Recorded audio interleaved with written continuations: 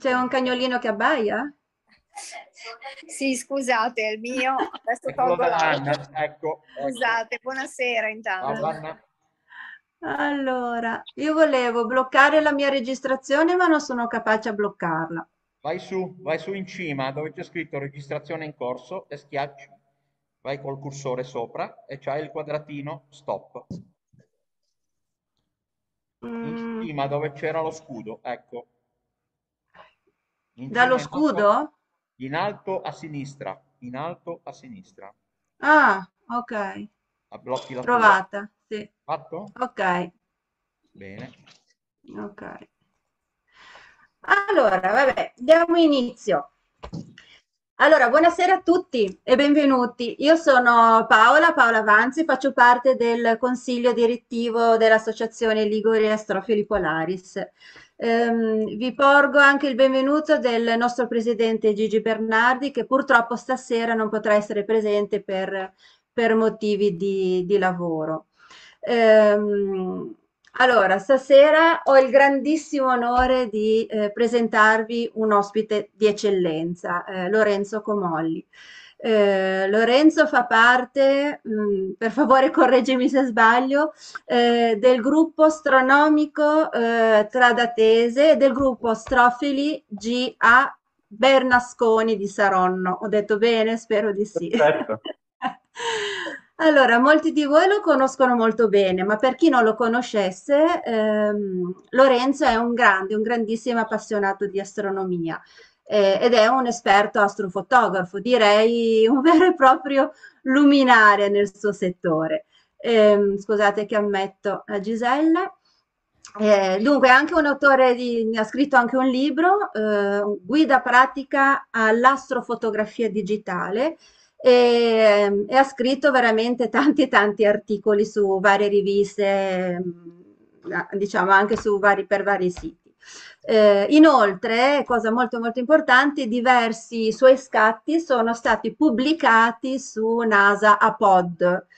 Eh, apro una parentesi, eh, per chi non lo sapesse, eh, le APOD, cioè Astronomy Picture of the Day, ehm, sono come dire spettacolari immagini del nostro universo che ogni giorno la NASA pubblica eh, nel sito web proprio dedicato, ehm, ogni giorno una, una fotografia diversa e, e, Lorenzo ha avuto questo grande onore, o la NASA ha avuto grande onore di, avere, di, di, di dedicare la giornata a una sua fotografia. Comunque, chiudo la parentesi. Eh, Lorenzo ha viaggiato moltissimo in, in tutto il mondo, ehm, sempre all'inseguimento del soggetto speciale da immortalare, eh, è riuscito così a realizzare degli scatti spettacolari e ha realizzato anche degli incredibili video astronomici attraverso la tecnica del time lapse di cui parleremo stasera. Eh, se vi fa piacere potete ammirare i suoi lavori visitando la sua pagina web. Adesso, mm, se non sbaglio Lorenzo è Lorenzo Comollis, eh, Astronomy Homepage di Astrosurf, ho detto bene? Sì, sì, sì, astrosurf.com barra Comolli. Barra Comolli, ecco, così insomma, io me le sono guardate, non dico tutte, ma me ne sono guardate tantissime, sono veramente spettacolari. Eh, stasera ci accompagnerà in questo meraviglioso mondo e passando anche attraverso a um, simpatici aneddoti, diciamo così, della sua vita da astrofilo, eh, ci svelerà alcuni segreti tecnici su come realizzare eh, scatti così spettacolari. Eh, un'ultimissima cosa prima di iniziare. Eh, vi ricordo che potrete fare domande a Lorenzo, al nostro esperto, attraverso la chat di Zoom domande che eh, non appena sarà possibile eh, li leggeremo, li gireremo. E al termine della presentazione stessa, se nel caso aveste ancora delle curiosità, delle, delle altre domande, fatevi pure avanti tranquillamente per, per chiedergliele. Noi restiamo in linea ad oltranza, senza nessun problema. Eh, or dunque non mi dilungherò ancora e lascio la parola al nostro ospite e buon ascolto a tutti. Bene, buonasera a tutti. È un è veramente un onore per me eh, essere qui alla vostra associazione, anche se in maniera virtuale. E grazie mille Paola per la presentazione, sei stata veramente fin troppo generosa. E, e spero insomma, di, di trasmettervi un po' eh, con, queste, con questa serata, di trasmettervi un po' quella che è la passione che ci accomuna tutti come, eh, come astrofili, come appassionati di astronomia, come astrofotografi. Insomma, eh, vorrei che questa, questa serata magari faccia capire anche cosa c'è nel dietro le quinte delle, delle astrofotografie, magari uno vede una bella astrofotografia ma non sa che cosa c'è dietro e quindi diciamo con, uh, con questa serata vorrei prendere alcune singole astrofotografie eh, e poi sviluppare un discorso su quello che c'è dietro questa fotografia, non solo sul soggetto vero e proprio della, della fotografia. Quindi se siete d'accordo incomincerei. Allora, partiamo con questa, questa immagine. Questa è un'immagine dell'ultima grande eclisse di sole che c'è stata negli Stati Uniti, 21 agosto 2017. Eh, io sono andato con eh, eh, l'amico Emanuele Sordini e anche con, uh, con mia moglie uh, in, in questa, in, siamo recati in Wyoming per fotografare questa uh, che era una eclisse molto attesa perché era eh, in un paese straniero molto facile, diciamo, da, da, da raggiungere da, per organizzarsi un viaggio. Spesso queste eclissi avvengono in siti remoti, remotissimi, nei deserti, eh, in Antartide, in, in, paesi in guerra. E, insomma, riuscire a, a, a, a prendere l'occasione per fare un viaggio in un paese come gli Stati Uniti dove si può viaggiare, muoversi liberamente senza, senza problemi, era un'occasione unica. Ecco, questa immagine che voi vedete eh, in realtà dietro ha un lavoro molto complesso. Innanzitutto è un'immagine che ho ottenuta da due telescopi identici, due Pentax 75, con al fuoco due fotocamere, eh, due fotogra- fotocamere Canon, una 60D e una 760D, che scattavano in automatico. E adesso eh, vi faccio vedere qualche, qualche immagine, ma prima di passare all'immagine del setup con cui è stata realizzata questa immagine, vi faccio vedere anche quest'altra. Questa è stata realizzata 11 anni prima, nel marzo 2006, in Egitto, nel deserto eh, dell'Egitto al confine con la Libia, e con lo stesso setup, una fotocamera leggermente più antica, chiaramente, la 350D, insieme all'amico Alessandro Gambaro. Ecco, guardate in 11 anni quello che è stato il progresso, diciamo, sia della tecnica che eh, soprattutto dell'elaborazione eh, digitale. Notate la differenza, lo strumento è lo stesso, il Pentax 75. E già per allora vi devo dire che questa immagine era una buona immagine. Nel 2006 eh, erano appena uscite le fotocamere digitali, pochi si arrischiavano ancora a usarla su un'eclisse. Addirittura avevo degli amici che dicevano no, impossibile, non si può usare una fotocamera digitale sulle perché viene bene solo con la pellicola, con la digitale non, non può funzionare. C'erano questi preconcetti sul, sulla fotografia digitale e io e il mio amico Alessandro abbiamo voluto provarci, insomma è andata molto bene. Ecco, eh, prendendo ad esempio questi, questi due eclissi che vi ho fatto vedere, Egitto e Stati Uniti, sono fenomeni che durano veramente pochi minuti. La totalità dell'Egitto era durata 4 minuti, negli Stati Uniti 2 minuti e mezzo. Quindi in 2 minuti e mezzo bisogna mettere tutta, diciamo, la propria preparazione di mesi eh, in, un, in pochissimi minuti. Se qualcosa va storto, si perde tutto. E in realtà non solo può andare storto qualcosa dal punto di vista tecnico, ma può andare storto soprattutto qualcosa dal punto di vista meteo. E, e ne so qualcosa perché lì vedete le eclissi che sono andato a vedere, Ungheria, Spagna, era un anulare, Egitto, Cina, Isole Faroe e Stati Uniti. Su queste, eh, su queste sei, sei, sei, sì, sei, eh, due ho avuto nuvole, nuvole complete da non vedere assolutamente nulla se non il, le, le, nuvole da diventare grigio chiaro a grigio scurissimo. E bisogna, non bisogna scoraggiarsi. Quando si torna da un viaggio del genere, chiaramente si torna molto demoralizzati, però non bisogna fermarsi e bisogna andare avanti.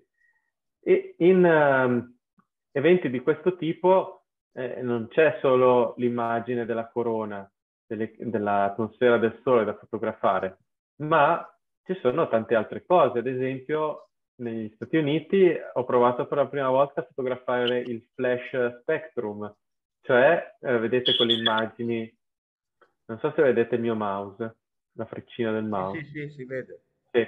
Ecco, queste, queste immagini mostrano eh, a tempo meno 2 secondi, più 1, più 4 più 7 secondi, l'immagine del Sole con una, una fotocamera, eh, sempre una digitale che scattava a ripetizione e un, un teleobiettivo da, mi pare, 200 mm con davanti un reticolo. Un reticolo che produceva uno spettro sulle, sull'immagine, quindi si vedeva sia l'immagine diretta sia il, lo, il suo spettro. E qua vedete che lo spettro è uno spettro a righe, si vede la cromosfera, eh, ad esempio questa è l'emissione dell'H-alfa, questa è l'emissione dell'elio 1, questo è, questo è il tripletto del magnesio, questo è l'idrogeno beta, questo è il calcio. E eh, insomma si vedono tutti gli elementi chimici di cui è formata l'atmosfera del Sole con un setup estremamente semplice, quindi si può fare anche un po' di, un po di scienza con uh, strumentazione, in questo caso era strumentazione secondaria attaccata uh, sul telescopio programmata per andare da sola. In verità tutto era programmato per andare da solo. Ecco, vi faccio vedere i due setup. Uh, a, a, destra il mio e a sinistra quello di Emanuele, estremamente simili. Stesso telescopio principale, eh, in parallelo io avevo un, uh, questo, un teleobiettivo da 100-400 a 200 di focale, Emanuele anche lui aveva un altro teleobiettivo 100-400, avevamo questa fotocamera che era attaccata praticamente con lo scotch eh, però ha funzionato tutto lo stesso. E montature sovraccariche, io avevo un contrappeso di fortuna perché ovviamente quando si va dall'altra parte del mondo con 20 kg di valigia, tutto compreso, strumentazione e vestiti, eh, bisogna limitare al minimo e quindi il contrappeso è stato realizzato in loco, una bottiglia d'acqua, e questo per farvi vedere il setup. Il setup, tutti i setup fotografici, sia i miei che quelli di Emanuele, sono andati tutti in automatico, cioè sono stati programmati per partire qualche minuto prima della totalità e hanno scattato in maniera totalmente automatica le immagini. Vedete qua sotto questo grafico che vi mostra i tempi di posa durante eh, la, la, la linea rossa è l'inizio dell'eclisse, eh, l'altra seconda linea rossa è la fine dell'eclisse e tutti i puntini sono singoli scatti che doveva fare la, la fotocamera. Per cui vedete in questo riquadro eh, una serie di, di, scatti che sono stati ottenuti dalla fotocamera.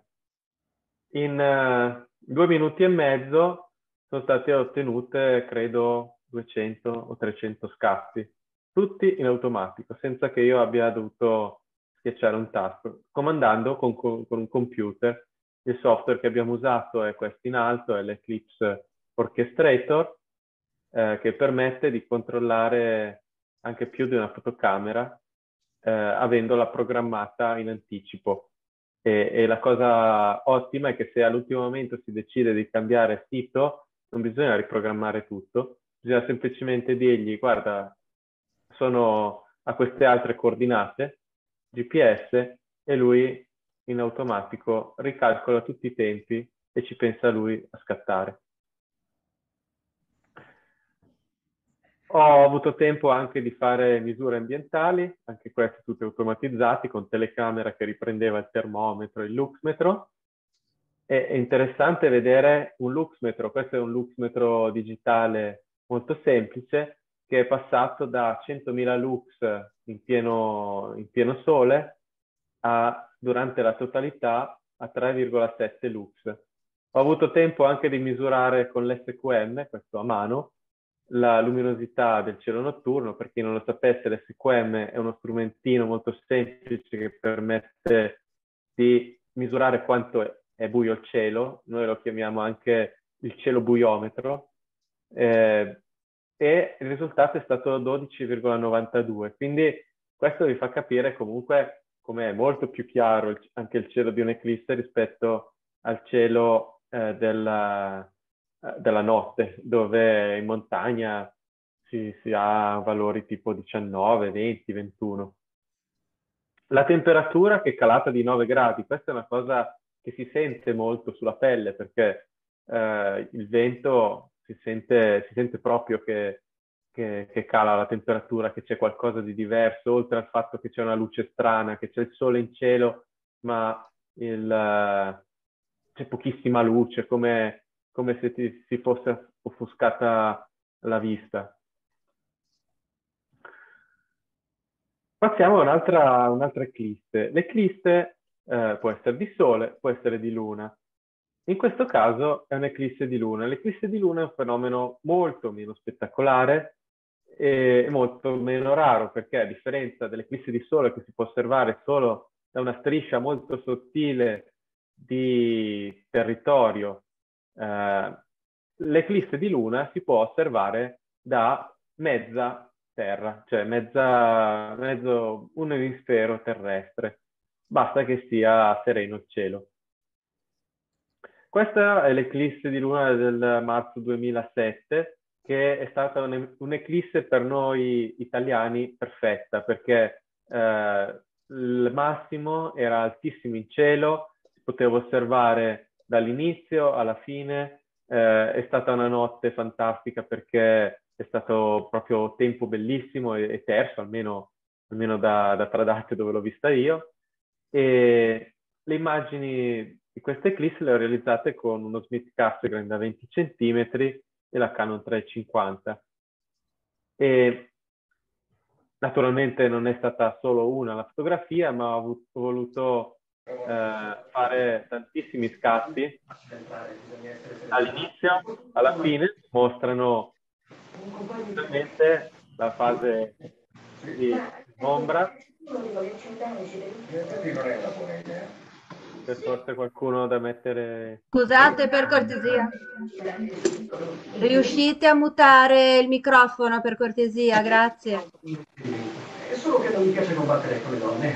Tutto bene sempre posso meglio No, io penso che potete andare Sei, Ottimo, grazie. E quindi dicevo, c'era questa, eh, l'eclisse inizia con la fase di penombra, dove si vede appena qualcosa sul fianco, poi con la fase di ombra e infine con la fase totale, aumentando i tempi di posa chiaramente per riuscire a riprendere qualcosa, e si vede la luna diventare rossa, rossa perché è la nostra, l'atmosfera della nostra Terra che rifrange una parte della, della luce del Sole e visto dalla Luna un'eclisse di, sarebbe un'eclisse di Sole, e però sarebbe un'eclisse di Sole con davanti una Terra molto, molto grande, molto più grande del Sole, circondata da un cerchietto rosso che è la nostra atmosfera.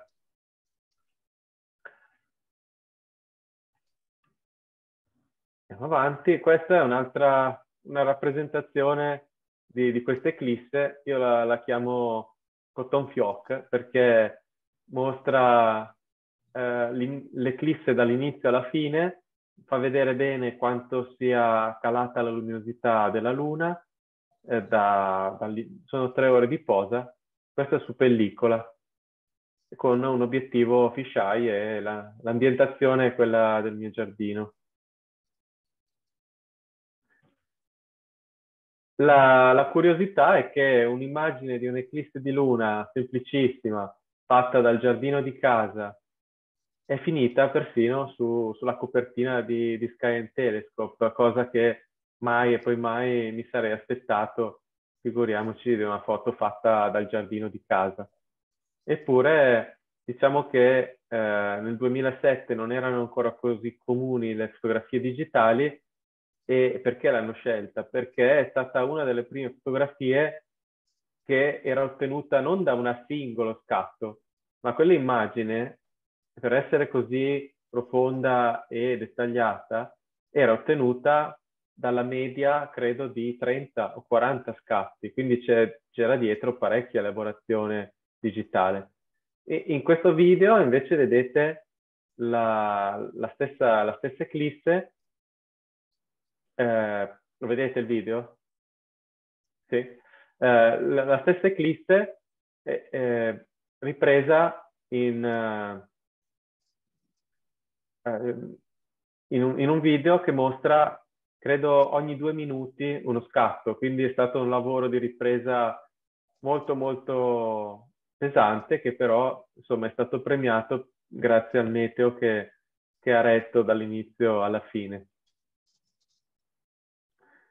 Passiamo eh, ora a un altro tipo di eclisse, un'eclisse di Venere, cioè, o meglio, di Venere davanti al Sole. Si chiama transito di Venere. I transiti di Venere sono rarissimi, ce ne sono stati due nel, diciamo, negli scorsi vent'anni e eh, purtroppo per tutti quelli che mi ascoltano, e me compreso, nessuno potrà vedere il prossimo, a meno che eh, non viviate almeno, credo, 150 anni.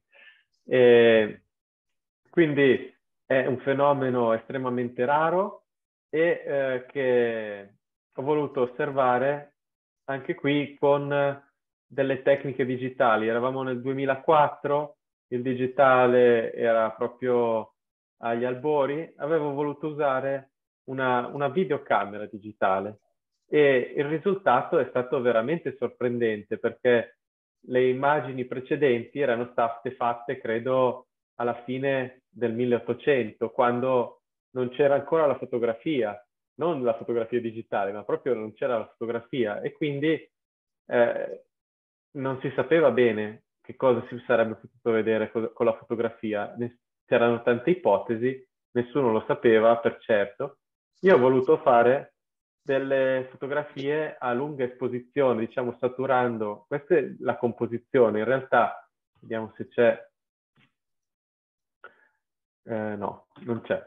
Ma eh, le immagini grezze erano completamente sovraesposte sul sole e esposte correttamente sull'aureola e altre invece contrariamente esposte bene sul sole ma l'aureola non si vedeva.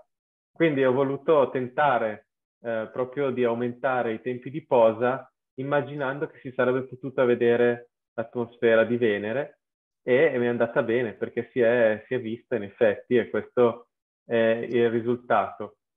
E per far capire quanto fosse, diciamo, una ripresa semplice, qua in, in alto a sinistra vedete il setup del 2004, un semplice Smith Cassegrain da 20 centimetri con una videocamera digitale, di quelle di una volta, con la, con la cassetta dentro, col nastro, eh, appoggiata all'oculare.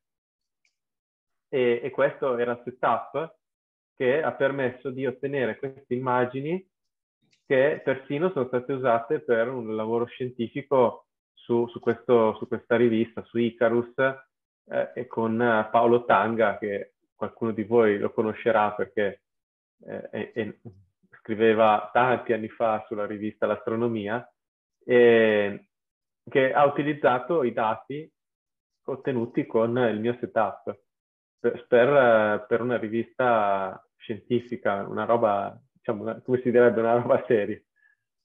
E nel 2012 c'è stato un altro transito, stavolta eh, l'ho visto insieme a Emanuele, anche lui compagno di scorribande insieme a Daniele, lui nativo genovese come voi.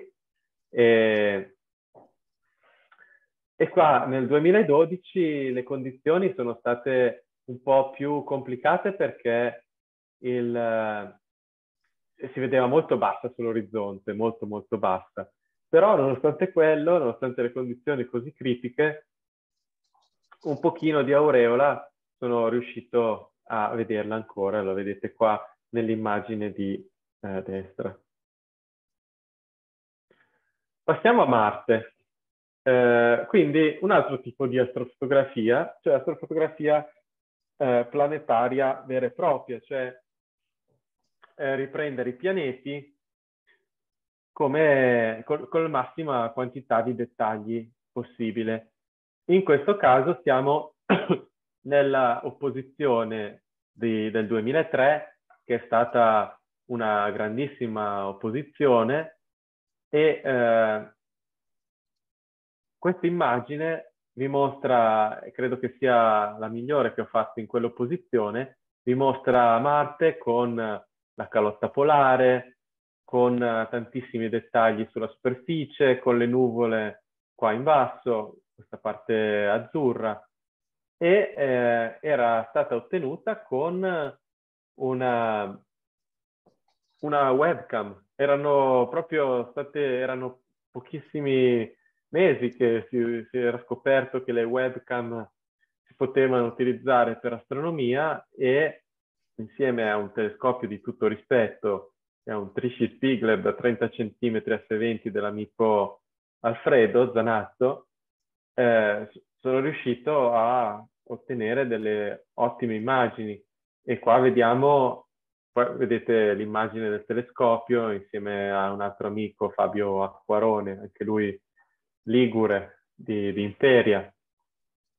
Questa immagine è stata ottenuta sul suolo ligure la Villa Talla a casa di Alfredo. Eh, e diciamo, avendo ripreso Marte non solo in quel giorno, ma anche in tanti altri giorni, è stato possibile eh, realizzare una mappa, una planisfero dell'intero pianeta.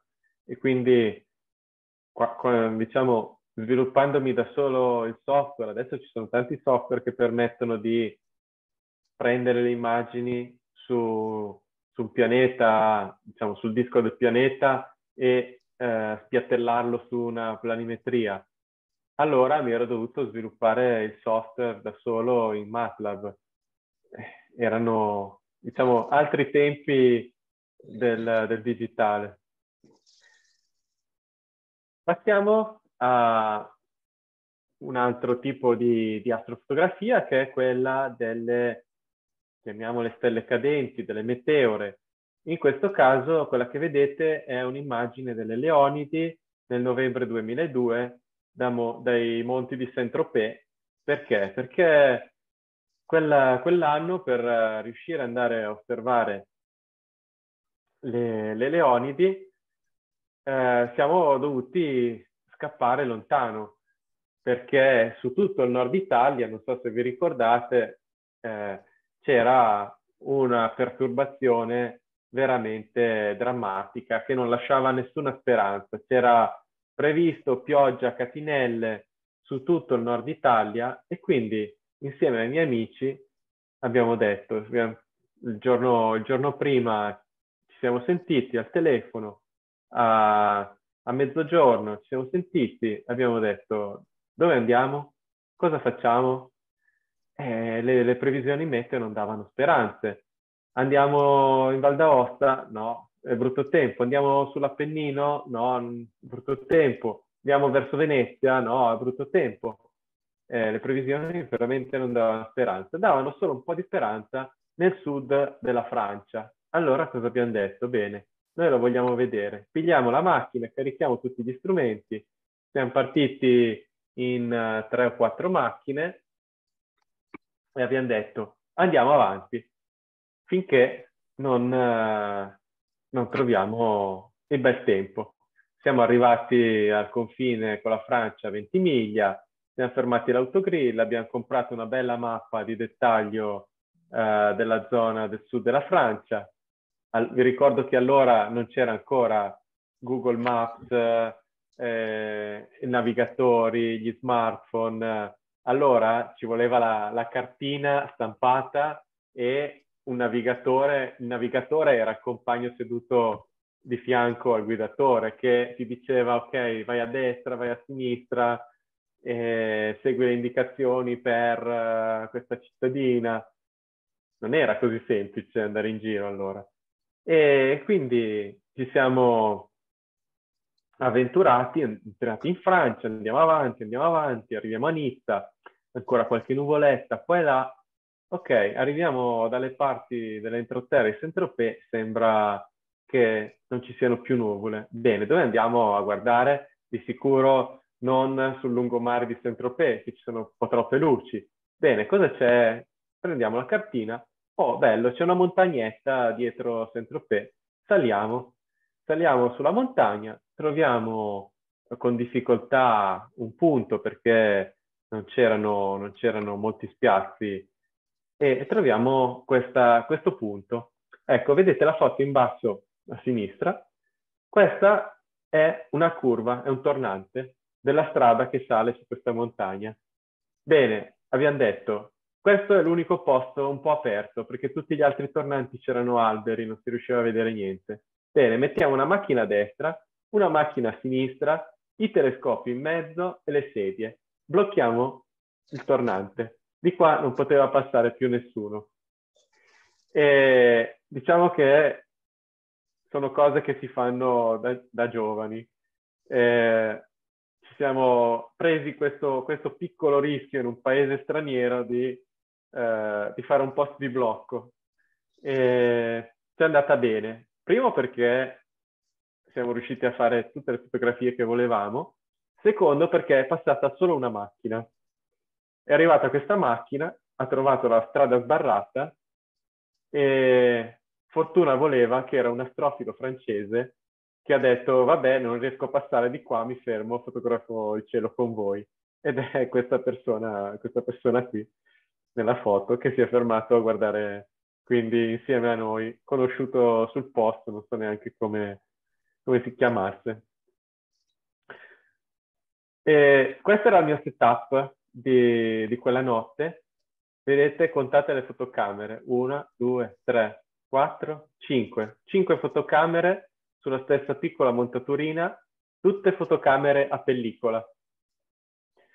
Fotocamera a pellicola, quella notte c'era la luna, quindi non si potevano fare pose troppo lunghe. Significa che dovevo fare pose da due minuti. Quindi ogni due minuti dovevo schiacciare 5 flessibili, chiudere la vittina, altro flessibile, chiudere la vittina, altro flessibile, chiudere la vittina. Dopo due minuti aprire flessibile, aprire flessibile, aprire flessibile, aprire, girare a mano il caricamento delle pellicole, girare il caricamento, girare il caricamento, girare devi fare partire tutte le fotocamere, così per tutta la notte. Pose da due minuti e ho fatto credo tre, per, tre rullini da 36 pose per uh, eh, 3-4 rullini per ciascuna de- de- delle fotocamere. Diciamo che è stata abbastanza impegnativa, ma nonostante questo, in quei due minuti di tempo che avevo tra una foto e l'altra, ho fatto le misure eh, di ZHR che vedete in questo grafico. Alle 4.10 di tempo universale, quella mattina, c'è stato uno ZHR di 2500 meteore ora siccome in un'ora ci sono 3600 secondi, è quasi una meteora al secondo. Voleva dire che c'erano dei momenti in cui non sapevi più da che parte guardare perché meteora, meteora, meteora, meteora, bolide, bolide gigantesco, con scia, una roba veramente da, da non capire più niente. Il, una, un'emozione incredibile, quasi, eh, siamo quasi al pari dell'emozione di, di un'eclisse di sole.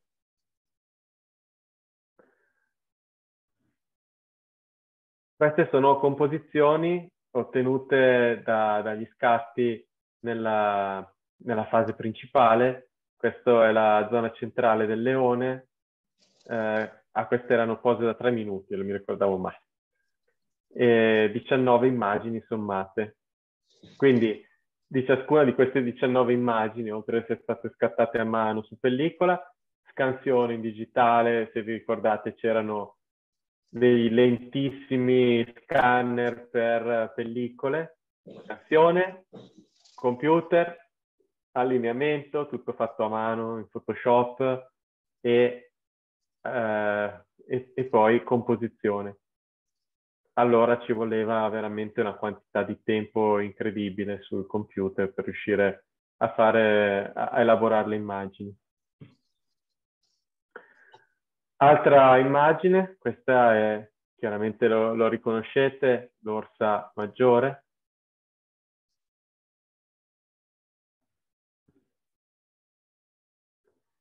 Sempre meteore sono, però in questo caso siamo qualche anno dopo. Siamo a settembre 2016, siamo allo Star Party di San Bartolomé, che tutti gli astrofili eh, diciamo, attivi con un telescopio conoscono perché è il riferimento di tutti gli star party eh, d'Italia, un raduno di centinaia, a volte migliaia di astrofili.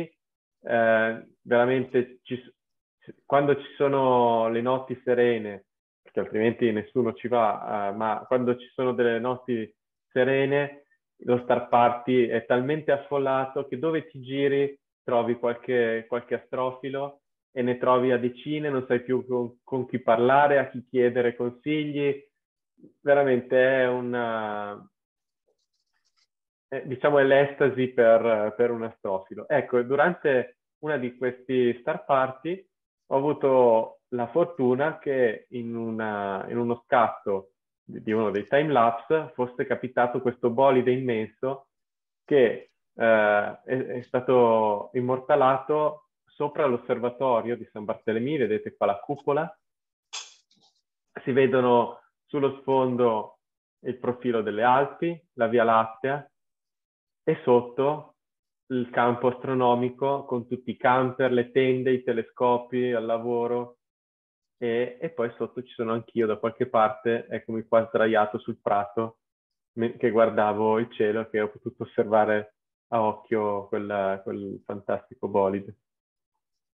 Ecco che quindi colgo l'occasione di questa immagine per raccontarvi quello che è uno star party. Qui vedete eh, quante persone vanno a seguire le conferenze, che razza di telescopi portano. Questo è l'amico Fabio Marioni di Saronno che si è portato un telescopio, un Newton autocostruito da un metro di diametro e, e vedete quanti, quanti camper, tende, telescopi ci sono. Veramente eh, ce n'è da, da, impazzire per, per un astrofilo. Sempre in quelle notti, ad esempio, ho realizzato uno scatto che è questo, una nebulosa oscura nella Volpetta, con uh, qualche dato tecnico magari per i più appassionati, realizzata col TEC 140 e la SBIG 11000, una posa totale di 5 ore. Interessante ingrandire la nebulosa oscura, quindi vedete nella striscia di destra, è un ingrandimento della parte centrale, vedete come le stelle sono molto rosse, ci sono tantissime stelle rosse, non perché sono stelle rosse, ma perché la loro luce viene arrostata perché deve passare attraverso il filtro della nebulosa, che è una nebulosa oscura, ovvero che è una nebulosa che non è illuminata da qualche altra stella, né eccitata da, da, da, da altre, altre, stelle all'interno. E quindi che, l'unico modo che ha per rendersi visibile è quello di assorbire la luce delle stelle che si trovano dietro. Qua siamo in piena Via Lattea, quindi ci sono tantissime stelle, le nebulose oscure si vedono molto bene.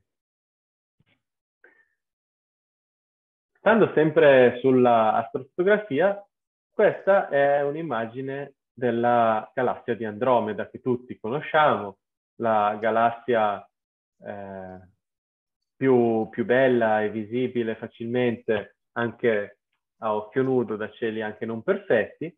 Ecco, questa immagine eh, ha la particolarità che è stata ripresa eh, sempre col mio telescopio principale, un TEC 140, una reflex, eh, una Canon 5D, una posa di sole tre ore da Bogli, in un paesino eh, nell'entroterra eh, sopra, diciamo, sopra Genova, in fondo alla Val Bordera. E questa immagine quindi è stata realizzata, vediamo se c'è, ecco, no, volevo dirvi, questa immagine è stata premiata, come diceva Paola prima, su, sul sito dell'APOD eh, della NASA e non solo, anche su tanti, tanti altri siti, diciamo generalisti, uno su tutti il sito Usa Foto, che è un sito di fotografia, di fotografia, non di astrofotografia, di fotografia generale, dove c'è gente che fotografa le persone, i paesaggi, le città, eh, i fiori, qualsiasi cosa, e l'hanno premiata come astrofotografia del giorno anche sul sito del genere, perché evidentemente è piaciuta così tanto che, eh, che io mai me lo sarei aspettato. Ma perché mai me lo sarei aspettato?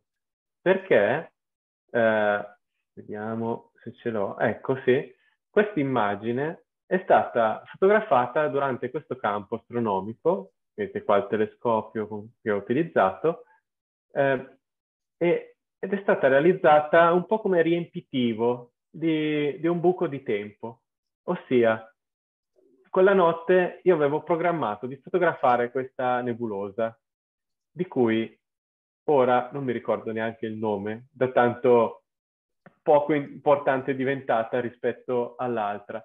Solo che eh, questa nebulosa che volevo assolutamente fotografare quella notte si alzava in cielo eh, dopo un paio d'ore da, dal buio astronomico. E quindi ero lì pronto a fotografare questa nebulosa, ma era ancora sotto l'orizzonte. Cosa faccio nel frattempo?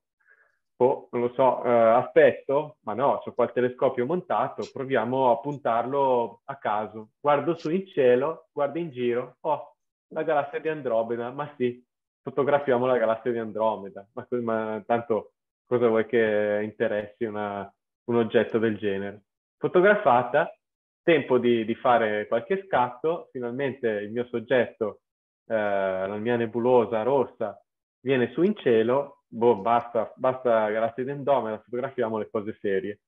Risultato della serata, quell'immagine che doveva essere un riempitivo è diventata un'immagine che ha avuto un successo strepitoso e invece quell'altra immagine è, è, così stata dimenticata che non me la ricordo nemmeno io che, che l'avevo scelta. È stata, devo dire, una notte eccezionale quella a Bogli perché vedete in quest'altra immagine in basso a, a sinistra è, è stata scattata all'alba, vedete Venere e questa striscia qui è la fascia zodiacale, la luce zodiacale. Quindi una, un fenomeno che si vede veramente da cieli molto, molto, molto bui, che ci sono stati, che c'è stato quella notte solo perché vedete cosa c'era in basso. C'era la nebbia. La nebbia copriva tutta la pianura, comprese tutte le vallate fino ai mille metri di quota. Quindi tutte le città, paesi e paesini, anche limitrofi, erano completamente oscurati e la notte è stata veramente fantastica e buia. Questo per farvi capire eh, il, il, setup che ho usato, questo è il TEC 140, è un telescopio rifrattore apocromatico con in parallelo un piccolo rifrattorino da 80 eh, F, eh, F5 per, per fare la guida. La montatura è una Gemini G41, qua c'era montata una Canon 5D modificata eh, Bader col ventolino per tenerla fresca. E il setup è tutto qui, quindi tutto alimentato a batteria, vedete le batterie sotto, la batteria grossa per alimentare il, il telescopio, la fotocamera e un'altra batteria per alimentare sul PC, sul tavolino, che era appoggiato qua sul tavolino. E per riuscire a resistere tutta la notte in, in stato, eh, diciamo, vivo, eh, bisogna anche coprirsi adeguatamente. Qua vedete il vestiario, importantissimo il vestiario per queste, queste notti passate dall'alba, eh, dal tramonto all'alba, completamente fuori a osservare. E qua vedete queste giacche polari con piumino d'oca che copre persino eh, il, il, cappuccio da, dalla bocca fino alla fronte, triplo pantalone, eccetera, eccetera. Mm, sono giacche co- così, così grosse e spesse che praticamente stanno in piedi da sole, ti, ti sorreggono da sole. Andiamo avanti. Un'altra fotografia a cui sono molto legato, anche se a meno avuto, ha avuto meno successo, però è la nebulosa che preferisco, la nebulosa Nord America, eh, che invece non perdo occasione di fotografare non appena cambio il telescopio oppure eh, sono in un posto più bello, eccetera. È non so, è la nebulosa che preferisco, quindi eh, la, la fotografo veramente spesso. E questa immagine che vedete qui in realtà è un'immagine che ho ottenuta con un tempo di posa estremamente lungo, 30 ore di posa, perché eh, è una composizione H-alfa e RGB. L'H-alfa è stata realizzata con una camera Smith da 30 cm di apertura libera, mentre la, la parte RGB, i colori, sono ottenuti con uh, il piccolo Pentax 75, lo stesso che era stato usato per fare l'eclisse di sole. Beh, questa immagine, se la vedete così, eh, è già, diciamo, buona, discreta, eh, ed è questa l'immagine che è uscita dalla uh, fotocamera reflex la, a colori col piccolo telescopietto. Però per arrivare qui, vedete la differenza, per arrivare qui ho aggiunto quest'altra, che è un'immagine in H-alfa ripresa con quel telescopio Smith che vi dicevo. Il telescopio Smith è un telescopio molto particolare, fatto direttamente qua, volevo farvelo vedere. Ce l'avete in alto a destra, è questo immenso tubo bianco che ho nell'osservatorio di casa mia. Il solo tubo senza ottiche, quindi senza specchi, senza lastra correttrice, senza forcella, solo il tubo pesa sui 200 kg. Credo che tutto il telescopio pesi sui 600 kg. È, è abbastanza mastodontico e poco portatile, diciamo, da portare in giro. Ed è stato un, il telescopio che ho ricevuto dall'amico Aldo Radrizzani come eredità. Me l'ha lasciato in eredità quando, quando è venuto a mancare. E l'ho modificato perché lui lo usava con pellicole eh, Technical Pan ipersensibilizzate, ma eh, nel 2006, quando l'ho avuto, oramai esisteva il digitale, quindi ho deciso di non fare più immagini su pellicola, ma di digitalizzarlo e ho acquistato una camera CCD, ho fatto costruire da Zen una lente che avevo progettato io, l'ho fatta incollare all'interno del CCD sul, sul sensore e in questo modo sono riuscito ad avere un campo spianato per questo telescopio. Perché? Perché è così importante avere un campo spianato? Perché questo telescopio ha la particolarità di avere un campo focale curvo. Ora, le pellicole fotografiche si riescono a, foto- a curvare abbastanza bene, basta schiacciarle un po' e si curvano da, nella curvatura giusta. Le camere CCD non provateci a piegarle perché si spezzano. E, e quindi questa, con questo accorgimento qua e altri accorgimenti, cioè il fatto che il freddo, eh, il, la camera CCD era raffreddata con cella di Peltier e la cella di Peltier non potevo mica farla eh, far disperdere il calore all'interno del telescopio. Sarebbe diventato un forno il telescopio. Voi sapete benissimo quanto influisce negativamente sulla visibilità, sulla puntiformità stellare un pochino di calore. Figuriamoci un fornetto dentro un telescopio all'interno. Quindi collegamento con tubi, raffreddamento ad acqua, acqua glicolata per poterlo usare anche nelle notti invernali quando fa freddo. E risultato, quell'immagine che avete visto, che mi piaceva così tanto che ho deciso di metterla come copertina del, del libro che ho scritto insieme al carissimo amico Daniele Cipollina. E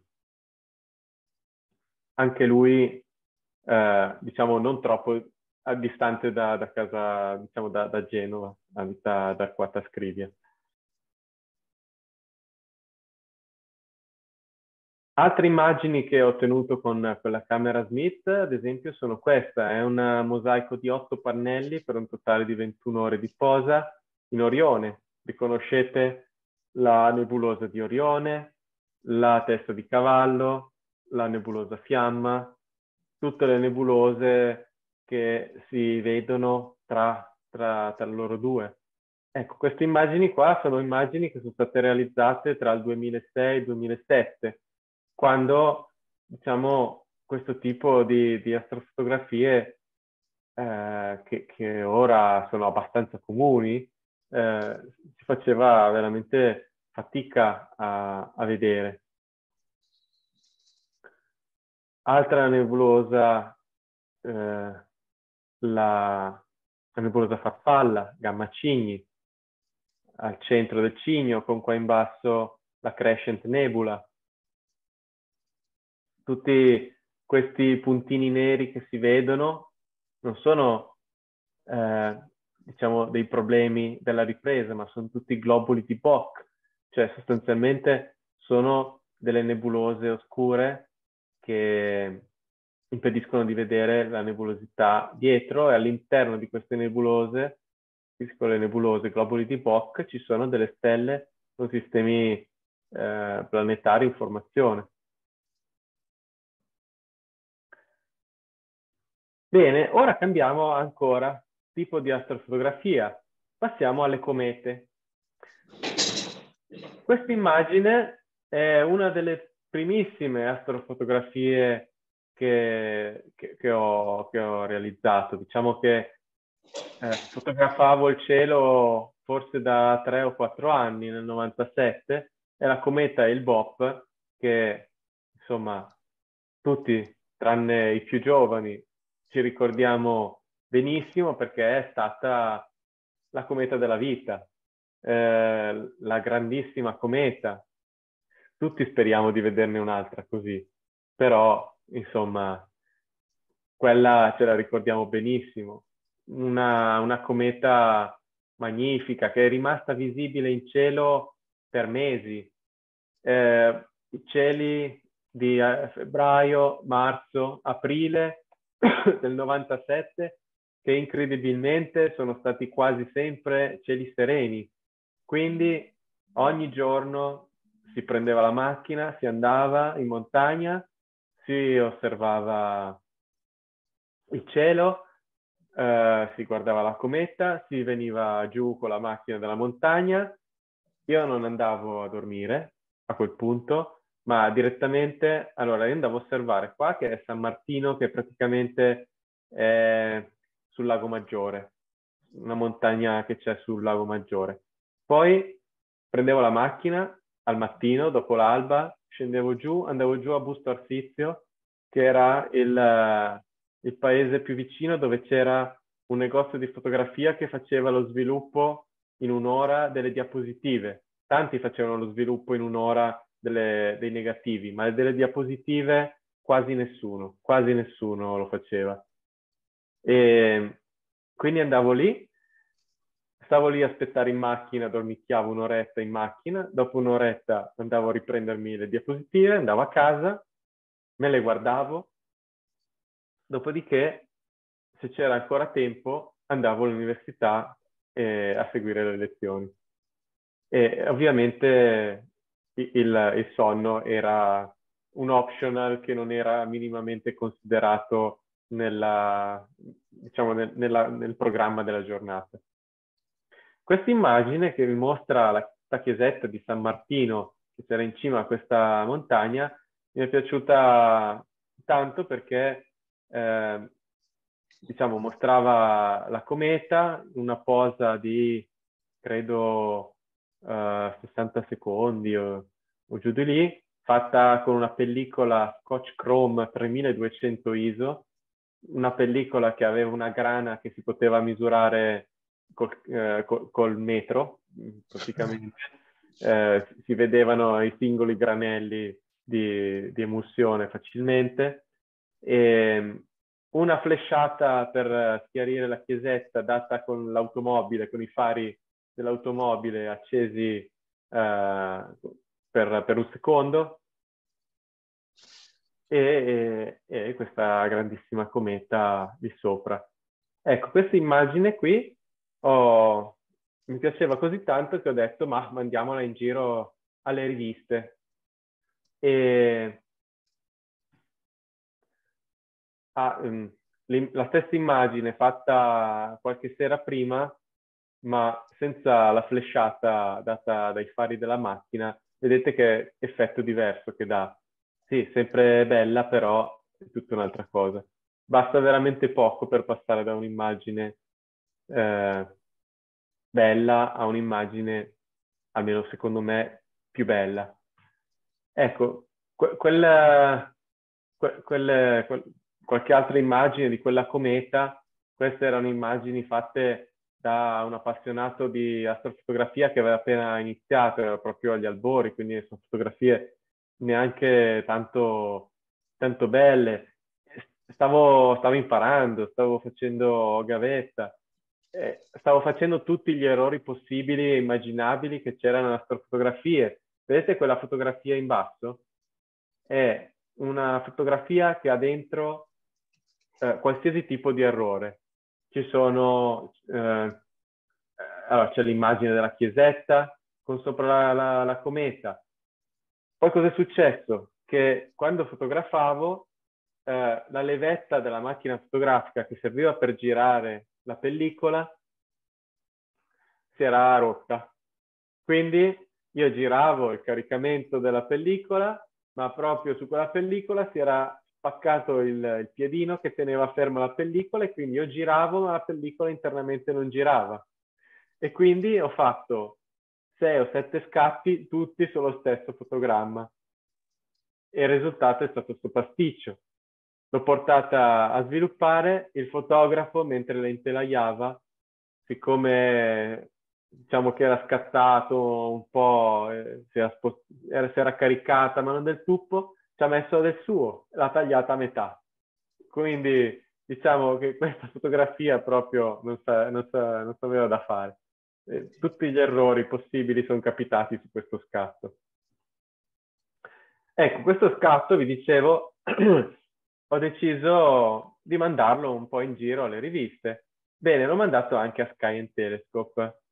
Io non avevo mai pubblicato, non avevo mai visto una mia foto pubblicata né su riviste italiane né, su riviste figuriamoci estere, però ho detto, ma proviamo, mandiamola.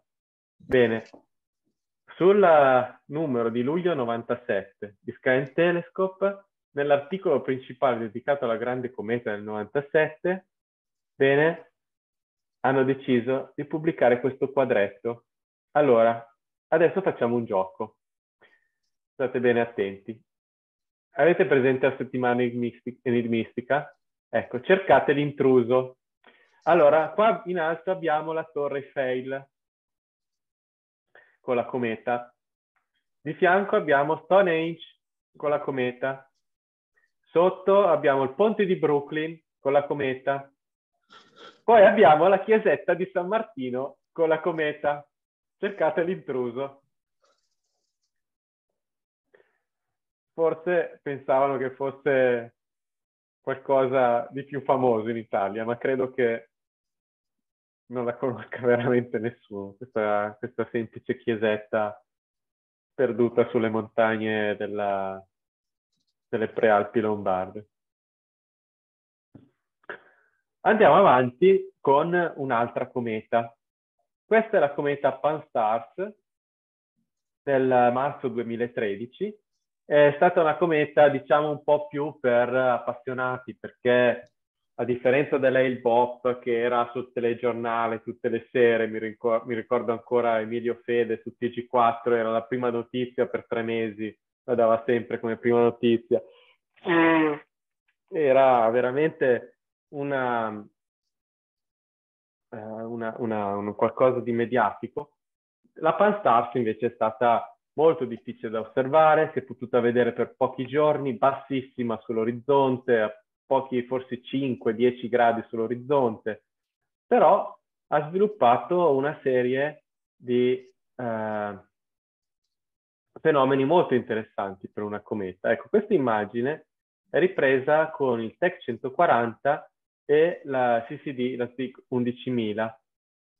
E in questo caso ho voluto eh, spingere al massimo il numero di pose che potevo fare eh, per eh, massimizzare il rapporto segnale-rumore. E questo ha permesso di tirar fuori quello che vedete, cioè quelle bande sincroniche. Le vedete, la vedete che la quota della cometa ha tutte queste bande che sembrano eh, partire dal nucleo. Eh? Si riescono a vedere? Ecco, queste bande sono un qualcosa che soltanto le grandissime comete come la, il BOP erano riuscite a mostrare, e poche altre comete. Ecco, su una cometina del genere mai ce la si sarebbe aspettata, anzi, tanti dicevano ma va, saranno artefatti, sei il solito photoshopparo, hai fatto venire fuori chissà che cosa, e invece io ero sicuro e insistevo, insistevo, insistevo. Ecco, questa immagine l'ho mandata ai signori dell'Apod, i signori dell'Apod hanno pensato quello che pensavano tantissimi altri, cioè solita photoshoppata, non la pubblicheremo mai, ehm, ci roviniamo la, la, la reputazione a pubblicare una porcheria del genere. Allora, però gli è venuto il dubbio, ma vediamo un po' se proprio non è qualcosa del genere. Hanno chiesto a un astronomo professionista, esperto di comete, Marco Fulle dell'Osservatorio di Trieste, Ecco, questo osservatorio, questo astrofilo, tra l'altro partecipava alla mailing list Comete Y. C'è una, una, un gruppo di discussione che, eh, sulla quale avevo mandato questa fotografia e sulla quale lui mi aveva risposto in maniera ferocissima, dicendo proprio quelle cose che vi dicevo, solito photoshopparo, non è possibile, io so tutto di comete, non ho mai visto una roba del genere, è impossibile, eh? Bene, quelli dell'Apod, non so come, ma gli è venuto in mente di chiedere, proviamo a chiedere un parere indipendente a un esperto di comete. Hanno chiesto proprio a questo Marco Fulle. Marco Fulle, eh, contattato dagli astronomi de- della NASA, ha detto, ma prima di dire che è una cagata, scusate il termine, prima di dire che, insomma, qual quella che era già la sua opinione, perché aveva già quell'opinione, ha detto, vabbè, eh, proviamo a fare un modello. Lui è un astronomo, ha tutti i modelli, sa come fare, ha fatto un modello. Il risultato del modello è quel disegno che vedete a sinistra. Il risultato di quel modello sovrapposto all'immagine è questo, ovvero ha scoperto che quelle che io vedevo erano esattamente bande sincroniche. Non solo, ma questa era la coda di sodio. Queste sono particelle di polvere di una granulometria che si può leggere qua inferiore al micrometro. Uh, queste sono particelle di, di polvere di questa, uh, di questa uh, linea sincrona che per, emesse dieci giorni prima del perielio. Queste sono, la, sono le particelle emesse nel giorno del perielio. Queste sono particelle emesse cinque giorni dopo il perielio e così via. Insomma, tornava alla perfezione tutto. Al che ha dovuto rispondergli a quelli della NASA, no, guardate, forse, forse va bene e sono fenomeni reali, questo è il modello. Quelli della NASA hanno preso il modello, hanno preso la foto, li hanno sovrapposti e l'hanno pubblicata. E, e quindi anche questa è passata dall'essere tacciata come un'immagine photoshoppata a un upload. Giusto qualche, qualche retroscena, qua vedete, eh, qua mi vedete nei campi dietro Tradate perché è stata fatta dalle campagne di Tradate insieme a mio papà, c'è il Guaita, conoscerete Cesare Guaita eh, che abita proprio qua vicino, un altro amico Paolo, e, e, però la stessa cometa l'ho fotografata anche dalla montagna. Qua siamo a Capanne di Cosola e si poteva vedere bassissima sull'orizzonte, nel cielo ancora chiaro del tramonto, con tutte, tutte le luci della pianura, delle, delle colline dell'Astigiano eh, lì sotto. Passiamo a un'altra esperienza che diciamo mi ha un po' cambiato come astrofilo perché l'esperienza del cielo della Namibia, ovvero di un cielo veramente come è nella realtà il cielo, in più con la visibilità degli oggetti dell'emisfero sud, con la Via Lattea, col nucleo della Via Lattea allo zenith, è un qualcosa che io dico ciascun astrofilo dovrebbe provare almeno una volta nella vita. Come dovrebbe provare almeno una volta nella vita a vedere un eclisse totale di sole, il cielo della Namibia o di altri deserti, ma diciamo del, dei tropici, è un qualcosa che assolutamente va visto. Ecco, questa immagine è un po' eh, il, la, la, la, la punta punta dell'iceberg del, eh, de, della spedizione che abbiamo fatto insieme ad alcuni amici che sono scritti lì sotto, Luigi Fontana, Giosuè Ghioldi, Emanuele Sordini e Marco Casin che non è un fotografo ma eh, che era presente. Ecco, questa immagine è un'immagine della parte centrale della Via Lattea. È un mosaico di sette eh, di sette riquadri. Ciascun riquadro ha una posa di un'ora, posa totale quindi sono sette ore, ottenuta con Canon 5D modificata e obiettivo Canon 50 mm chiuso f4, quindi strumentazione assolutamente semplice, ma eh, una, un cielo spettacolare che ha permesso di ottenere una visibilità incredibile della, della Via Lattea di tutte le sue nebulose oscure, delle nebulose rosse che si vedono al suo interno, eccetera. Ecco, il nucleo della Via Lattea si vedeva così bene che vorrei farvi vedere questa immagine. Questa non è un'immagine, eh, diciamo, eh, photoshoppata, lasciatemi dire così. Non è un'immagine particolare, questo è un singolo scatto, un singolo scatto fatto con una Canon 550D, un obiettivo 15 mm 2.8, 3200 ISO, 30 secondi di posa, fotocamera appoggiata su un cavalletto, 30 secondi di posa, una lucina per illuminare noi in primo piano. Ecco, qui vedete il cielo all'orizzonte, lì vedete l'orizzonte, nero, nero pesce, le stelle si vedono fino all'orizzonte. Addirittura delle sere erano così terse e limpide che le stelle si vedevano tramontare, ossia sull'orizzonte fisico si vedeva la stellina, si vedeva, si vedeva, si vedeva, pum, sparita, sparita dietro l'orizzonte, non dietro un albero, dietro l'orizzonte. E c'era l'orizzonte a 360 gradi a 0 gradi, eh? non c'erano montagne attorno, eravamo su un altopiano.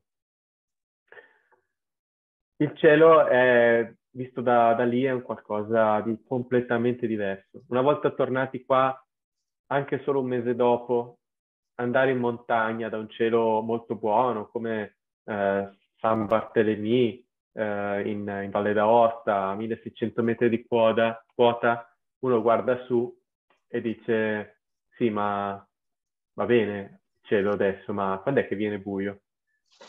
No, proprio um, si, si, fa, si fa il, il, il, la tara, si fa la tara su un cielo che è totalmente di un altro livello. È un po' come passare dalla città, come passare da osservare da Genova a osservare in cima a, agli Appennini. Ecco, lo stesso passaggio c'è tra, passare, tra osservare dagli Appennini a osservare uh, dalla Namibia. Questa è una frecciata per il mio amico Daniele che ci sta sentendo, ma eh, è abituato, oramai è, lo, glielo, gliel'ho già detto 50.000 volte e prima o poi dovrà, dovrà anche lui concedersi questo, questa cosa. Altre immagini ottenute da quella spedizione, uh, la grande nube di Magellano, questo è un mosaico di sei pannelli, per un totale di 12 ore di posa. Eh, telescopio Pentax 75, ancora lo stesso telescopietto che mi porto sempre a spasso nei miei viaggi. Telescopio piccolino, montatura piccolina, quella dell'Eclissi, Canon 5D. Ecco, questa immagine fatta col setup più semplice che abbiamo, ci siamo portati dietro, perché ci siamo portati dietro veramente l'impossibile in Namibia, in 5. Non avete idea di, di quante valigie. Eh, credo che sui 20 kg di, di valigia, 19 kg erano di strumentazione e un chilo erano di vestiti. Perché? Perché i vestiti quando siamo partiti ce li siamo messi tutti addosso. Siamo partiti ad agosto da Linate, dall'aeroporto di Linate e penso che ci abbiano dati per, per dei pazzi folli scatenati perché ci siamo presentati all'imbarco con 40 gradi all'ombra con la giacca a vento addosso. Questo perché non potevamo metterla nella, nella valigia, era troppo pesante una giacca a vento, mezzo chilo ci faceva andare fuori peso massimo. Quindi, siccome il, telesco- il telescopio non te lo puoi indossare, la giacca vento sì, ci siamo indossati la giacca vento in pieno agosto eh, per riuscire a passare il controllo bagagli senza problemi. Ecco, vi dicevo, questa immagine ottenuta con un telescopio secondario della spedizione, eh, anche lei, oh, aspettate, ah, no, no, non ce l'ho, ma anche, anche lei è finita su Apod. Un'altra immagine che a me piace tantissimo è questa, un'immagine dell'intero cielo, cioè una fotografia che mostra il cerchio, quel cerchio che vedete è l'orizzonte a 360 gradi e il, il centro del cerchio è il punto più alto in cielo. È un'ottica, che in questo caso è un'ottica Peleng 8 mm, f3,5, quindi neanche tanto aperta, ma 8 mm su una fotocamera full frame permette di inquadrare 180 gradi di campo, quindi da un orizzonte all'altro nord, sud, est, ovest, tutto il cielo, tutto in cielo in una singola fotografia. In questa immagine vedete che cosa c'era in cielo. C'era la Via Lattea che andava da orizzonte a orizzonte passando per lo zenith con il nucleo della Via Lattea allo zenith. Una roba veramente spettacolare. A incrociare la Via Lattea c'era quest'altra fascia luminosa questa è la luce zodiacale che parte da qua in, ba- da qua in alto, diventa poi luce, eh, fascia zodiacale e qua in basso all'orizzonte il Gegenschein. Vedete questa nuvoletta un po' più chiara? Non è inquinamento luminoso. Lì non c'è inquinamento luminoso all'orizzonte. Questa nuvoletta un po' più chiara in basso è il Gegenschein, che è un fenomeno che in Italia si può osservare solo quando è proprio alto alto in cielo e solo, credo di averlo visto dall'Italia un paio di volte in vita mia, cercandolo, sapendo dov'era e con grande difficoltà e molta immaginazione trovandolo. Qua, singolo scatto, o meglio, singola immagine, si vedeva già sull'orizzonte.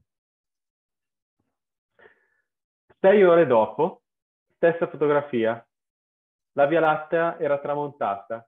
Siccome siamo a meno 23 di latitudine, siamo sul tropico del Capricorno, in, in Namibia, ecco, in, eh, in quel posto, in quella località, la Via Lattea, quando tramonta, tramonta interamente.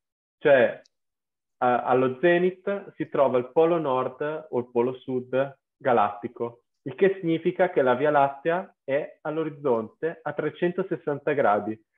Vedete quel chiarore che c'è un po' tutto lo, lungo l'orizzonte? Di nuovo, questo non è inquinamento luminoso. Questa è la Via Lattea lungo tutto l'orizzonte. L'orizzonte era un po' più chiaro perché c'era la Via Lattea tutte, in tutte le direzioni della, dell'orizzonte. E c'è ancora questa fascia, questa fascia zodiacale che si vede molto molto debole e il Gegenschein luminosissimo. Il Gegenschein era talmente luminoso che bastava alzare cielo, gli occhi al cielo, ah sì, eccolo lì il Gegenschein, facile facile. Proprio come se fosse, non lo so, vedere, vedere una nuvola di giorno. Si vedeva benissimo. Nello stesso cielo vedete la grande nube di Magellano e la piccola nube di Magellano, che dai nostri cieli non si possono vedere, ma che sono veramente immensi in cielo e molto molto luminosi. Ah, qua in basso vedete per riferimento, la, qua in basso però in alto nell'immagine, Orione. Questo puntino luminoso giallo molto luminoso è Giove, le Pleiadi, le Iadi. Il, la spedizione che abbiamo fatto, per la spedizione abbiamo scelto di andare in questa fattoria che si chiama Tivoli Astrofarm, gestita da, eh, diciamo, eh, ex coloni di quarta generazione, quindi eh, ex coloni tedeschi, eh, che però eh, vivono lì da quattro generazioni e hanno deciso di aprire la loro fattoria, che è una fattoria eh, agricola, più che agricola, eh, di, di, allevamento, hanno, allevano pecore e mucche, hanno deciso di aprirla agli astrofili, hanno costruito alcune casette, qui vedete questi puntini bianchi sono le casette, hanno costruito le, le, le casette degli osservatori, delle casette per, per, stare, per dormire e sono in un posto veramente incredibili perché su dieci notti che siamo stati lì, notare il viaggio di un astrofilo si misura in notti, non in giorni. Di solito si dice sono stato via 13 giorni. No, l'astrofilo misura in notti. Siamo stati dieci notti in Namibia.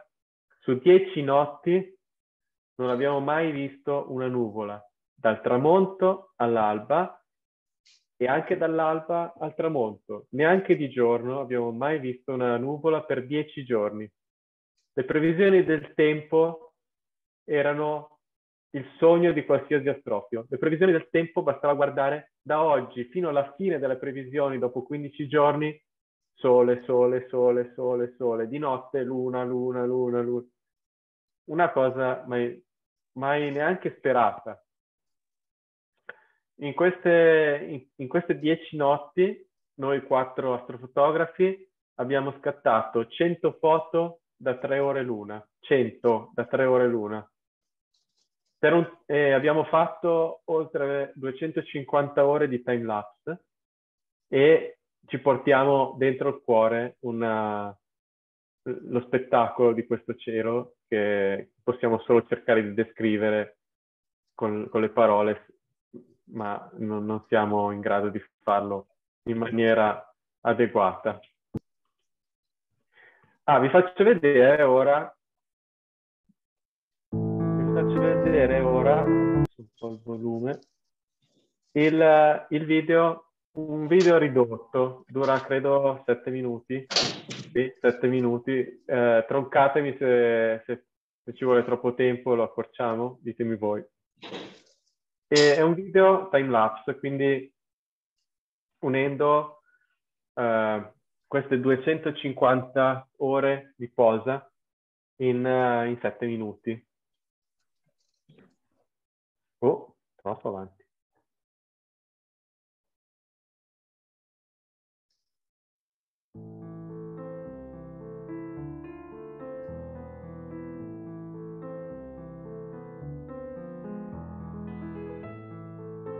tramonto dal deserto, fantastico.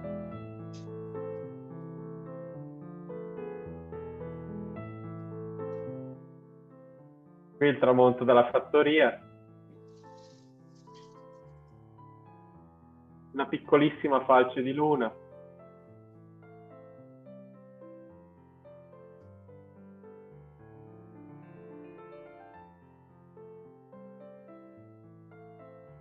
di nuovo il tramonto, notate, non c'è una nuvola.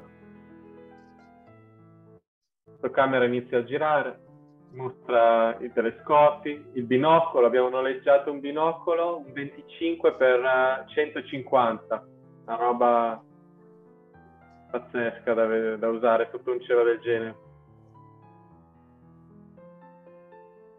Vedete la luce zodiacale. La prima sera quando l'abbiamo vista abbiamo detto siamo andati subito dal padrone a lamentarci e dirgli ma non potete spegnere le luci?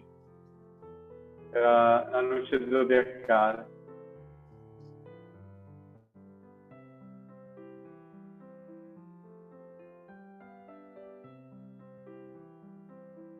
Vedete in basso, in primo piano, un Dobson da 50 cm, anche quello noleggiato sul posto. Daniele può capire che, che, che, spettacolo che può dare un telescopio da 50 cm, immaginate di usarlo sotto un cielo del genere. Su soggetti poi mai visti da noi, nel senso nebulosa tarantola, nebulosa galassie, galassia dello scultore. Ah, vedete qua in basso? Questa parte rossa è la Nord America, girata sotto sopra.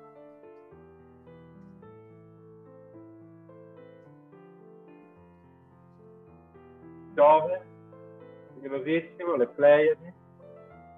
Orione, qua ho scritto Orione sotto sopra, vedete, Orione sotto sopra, Betelgeuse in basso, Rigen in alto. Ecco, mi ha scritto un australiano su, su YouTube dove ho pubblicato il video, l'ho scritto questo australiano, mi dice perché hai scritto che Orione è sotto sopra? A me sembra normale.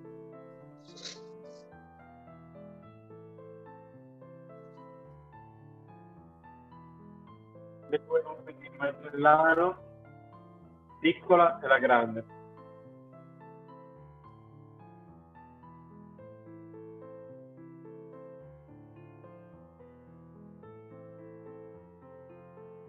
Guardate questa. Si, vede, si vedeva quando era due gradi sull'orizzonte.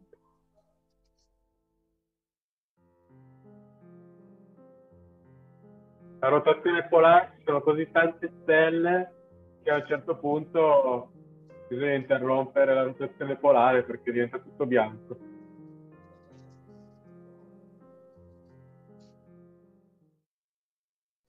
Qua nel cielo, qua c'è la luna che schiarisce, era una delle ultime notti che eravamo lì. La luna tramonta dopo un paio d'ore. Qua in basso, io e Luigi, siamo gli stupidi, e qua una meteora con tempo di liscia. Abbiamo Job,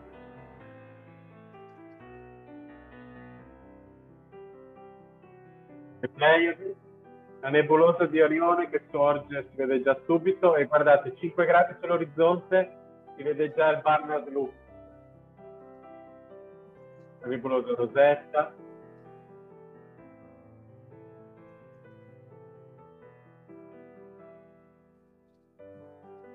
E l'alba ah guardate le stelle in basso. Vedete che fanno una curva Vedete che curva, no? Questa è l'atmosfera della Terra, che curva la traiettoria, non è dritta qua, non è una, un problema ottico, è proprio l'atmosfera che curva il cielo.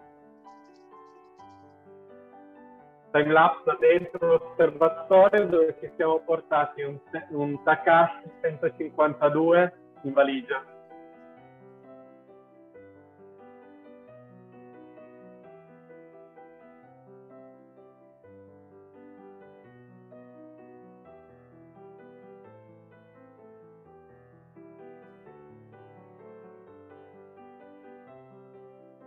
Stata un'avventura, abbiamo smontato a pezzi il Takashi 152, l'ottica ce la siamo tenuta stretta stretta nello zaino, il tubo era in valigia, il pochettatore in un'altra valigia, i raccordi in un'altra ancora che non ci stavano, insomma.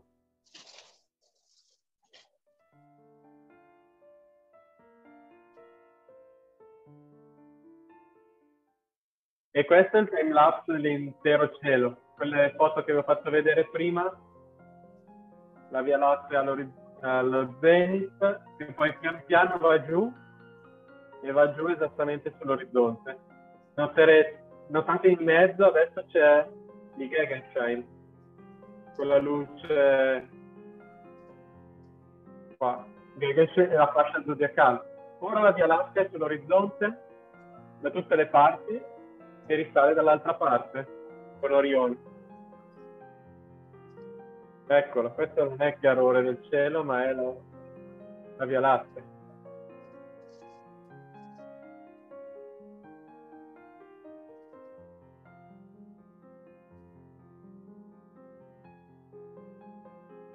Una rappresentazione di proiezione rettangolare delle immagini di prima. Qui avete in basso l'orizzonte, 360 gradi di orizzonte, in alto avete lo zenith Sembra una fontana di stelle.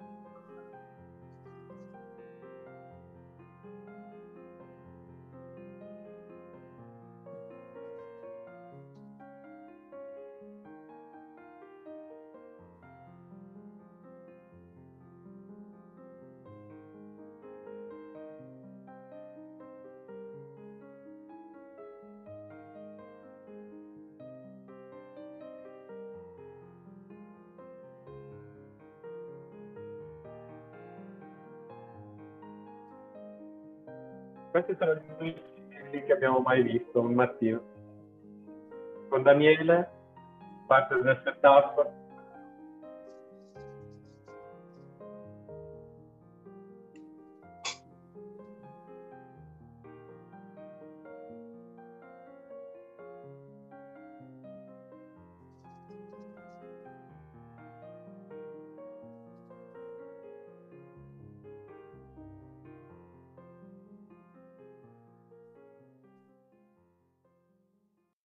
Ecco, quella, quella diciamo è stata, è stato il video che, che, raccoglie un po' tutta l'esperienza che ci siamo fatti in Namibia. E... Però non voglio andare oltre a parlarvi di Namibia perché altrimenti starei qua tre notti a, ad annoiarvi su quello che abbiamo potuto osservare e magari se avete delle domande poi me le potete fare. Vorrei farvi vedere uno degli ultimi eh, ultimi scatti, eh, questo è un altro fenomeno che si può immartellare in astrofotografia, che è l'aurora boreale.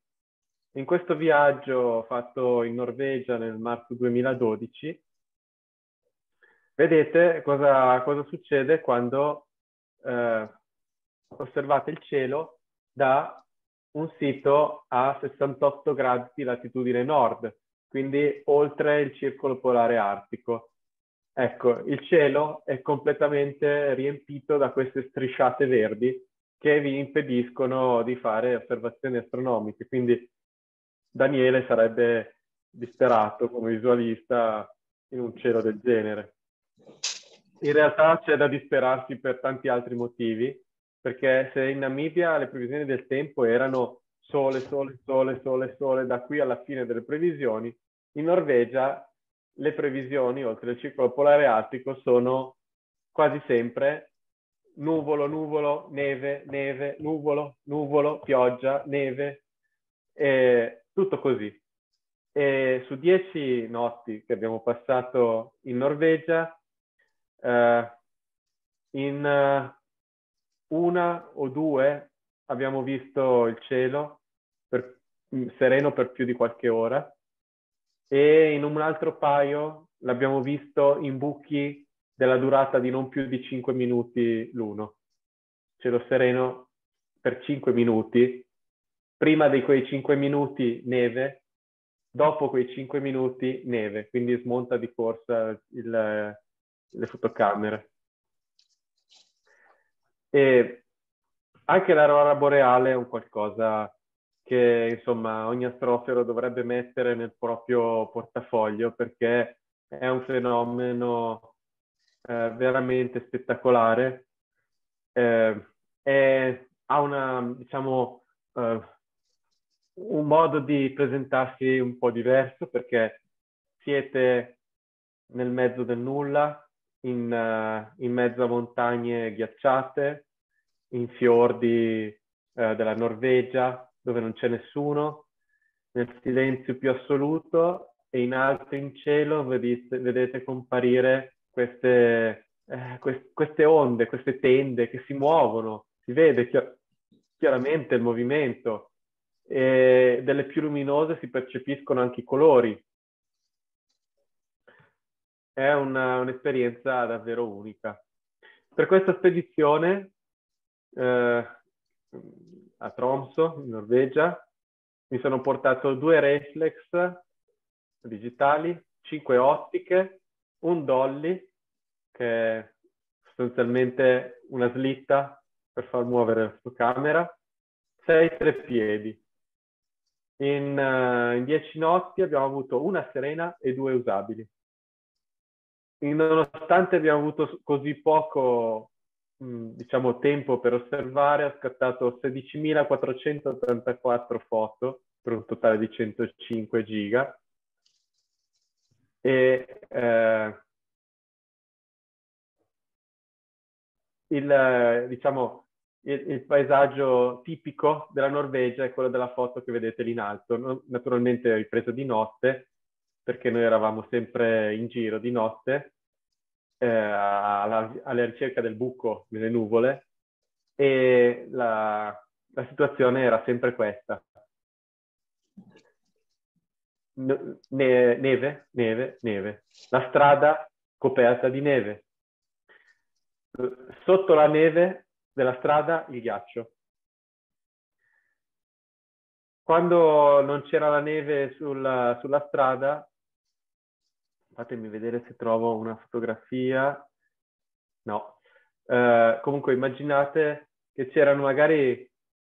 No, eh, vi racconto questa cosa velocissima. Stavamo guidando, a un certo punto nella notte decidiamo di fermarci per vedere come è venuto, come sta, si sta rasserenando. Bene, io stavo guidando, eh, vedevo benissimo la strada, illuminata dai fari della macchina, si vedeva l'asfalto, perfetto, la macchina teneva benissimo, in curva teneva benissimo. Bene, ci fermiamo lì in mezzo alla strada, intanto non c'è nessuno. Scendo dalla, apro la portiera, scendo dalla macchina, metto giù il piede, intanto inizio a guardare in alto, boom, il piede è partito. Perché? Perché la strada si vedeva l'asfalto, ma si vedeva l'asfalto perché era sotto una lastra di ghiaccio perfettamente trasparente. Le automobili, l'abbiamo scoperto al terzo e quarto giorno, l'automobile che avevamo noleggiato, eh, l'autonoleggio ce l'avevano data come di standard, senza neanche chiederlo, con le gomme chiodate. Per cui, con le gomme chiodate, guidare sul ghiaccio è come guidare sull'asfalto in estate al mare. Si guida perfettamente. L'unica cosa che notavamo era su, sulle rotonde. Sulle rotonde, ecco, sulle rotonde diciamo che il retrotreno partiva un pochino, però si potevano prendere tranquillamente in maniera sportiva. Le gomme chiodate ci avevano fatto dimenticare che eravamo sul ghiaccio. E il, i paesaggi della Norvegia, vedete, sono veramente dei paesaggi fantastici, queste casette rosse sulle palafitte con dietro questo paesaggio che fa venire freddo solo a guardarli. Veniamo all'ultimo punto, abbiamo già visto che cos'è un time lapse, però volevo fare una, un brevissimo approfondimento, eh, anche perché ve l'avevo promesso nel titolo della conferenza. E un time lapse che cos'è? È sostanzialmente una serie um, di, di fotografie scattate a intervalli di tempo. Ora, se c'è il detto che un'immagine è meglio di mille parole, io aggiungo, beh, un video, un video è meglio di mille immagini. Quindi un time lapse, diciamo, porta su un altro livello l'astrofotografia. Il, la ripresa dei time lapse non è così difficile, anche se poi eh, io sono capace di autocomplicarmi la vita eh, anche in questo campo. Eh, li vedete, ad esempio, in basso, questo è un dolly. Il, doll, eh, il dolly è sostanzialmente una slitta che fa muovere la fotocamera da destra a sinistra, da sinistra a destra, in maniera molto lenta. Per dire, fare tutta la corsa di un metro eh, ci mette tre ore. Quindi è un movimento estremamente lento. Oppure il panning, quest'altro che mi sono autocostruito. Stiamo parlando di un, uh, un periodo 2007-2008 quando ho iniziato a fare questi time lapse, quando i time lapse non erano ancora diffusi tra gli astrofili, i dolly non erano in commercio, me l'ero dovuto costruire. Semplicemente sulla base di un'idea e ho detto, ciao, proviamo a metterla in pratica. Andiamo al, al negozio di bricolage e vediamo che cosa hanno. E mi sono comprato delle barre, dei motorini, una barra filettata, qualche pezzo dell'elettricista e mi sono messo lì e me la sono costruita. E, oppure quest'altro che è il, il panning, cioè il movimento attorno a un. Beh, ho modificato una montatura vecchissima col seghetto l'ho tagliata, l'ho sacrificata e l'ho recuperata per fare questo. Per eh, fare questo tipo di, riprese è fondamentale avere un timer. Eh, se, ne trovano, se ne trovano di tantissime marche, oramai a prezzi più che Come iniziare a fare dei time lapse? sicuramente la cosa più semplice è iniziare a fotografare costellazioni in grande campo, quindi con uh, reflex digitali, pose dell'ordine dei 15-20 secondi, uh, ottica 18 mm, quella anche standard va benissimo per iniziare. Serve sicuramente lo scatto remoto e un buon cavalletto per, per mantenere ferma la fotocamera con più avete un cielo buio, con più si vedranno meglio le stelle, ma questo vale per i time lapse come per qualsiasi astrofotografia. E cercate di fotografare in luna nuova quando non sono, eh, non c'è il disturbo della luna. Giusto per capirci, il campo di, campo di vista delle ottiche si passa dall'8 mm eh, che ha una vista circolare a un uh, non so, un 15 mm che è un bel grandangolo, a un 20 mm che è un campo più corto. Andare sopra i 20 mm ha poco, poco senso per i time lapse, a meno di cose molto particolari. Treppiede, vi dicevo, fondamentale. Eh, io trovo che la testa più comoda sia senz'altro la testa sfera, qua ne vedete un esempio, l'altra è molto più la, la classica testa con eh, le leve molto più complicate da, da usare per puntare. E il luogo, inutile dirlo, che se fotografate da Tradate come da Genova vedete quattro stelle, se andate in montagna ne vedete mille. Vorrei concludere, vorrei concludere la serata, e questa è veramente l'ultima, con questo time lapse di quattro minuti eh, che riprende intitolato Telescopi sotto il cielo, perché raccoglie eh, decine di uscite astronomiche negli Appennini, sulle Alpi, eh, che, che, sono stati fatti ne, intorno a, agli anni precedenti al 2014, con tutte quelle tecniche che vi dicevo.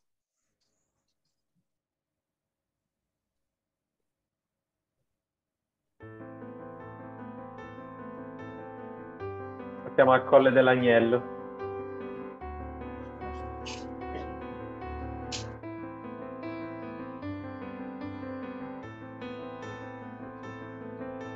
Vedete l'effetto del movimento della fotocamera? Questo è il dolly.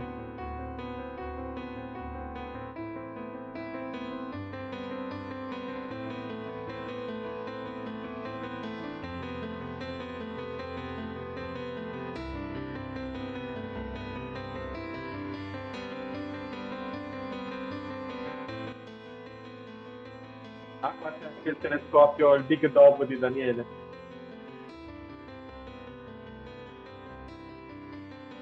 Fotocamera che passa si infila sotto il cavalletto, fa che sfiora il telescopio.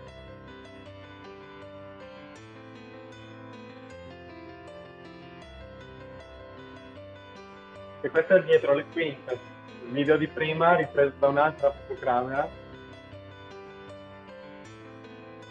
Freddo, tutti sul ghiaccio si vede il telescopio. La battaglia lì una serata sfortunata.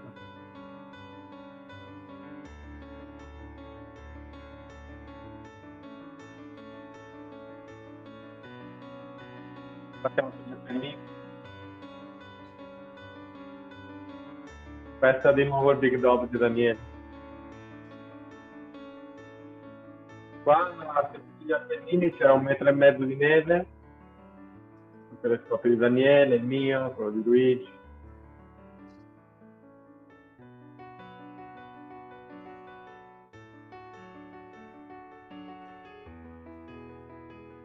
Daniele Solitario. Questa è la, la maratona di Messier fotografica.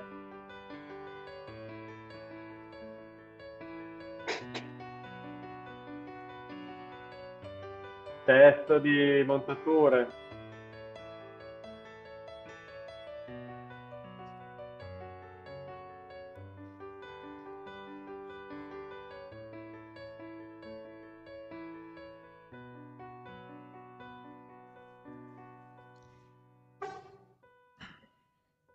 Un hyperlapse. E questo è un altro hyperlapse, cioè ho mosso il cavalletto per 2-3 ore di 20 cm ad ogni scatto, ripuntando esattamente allo stesso punto del precedente. Questo è nuovo un dietro le quinte,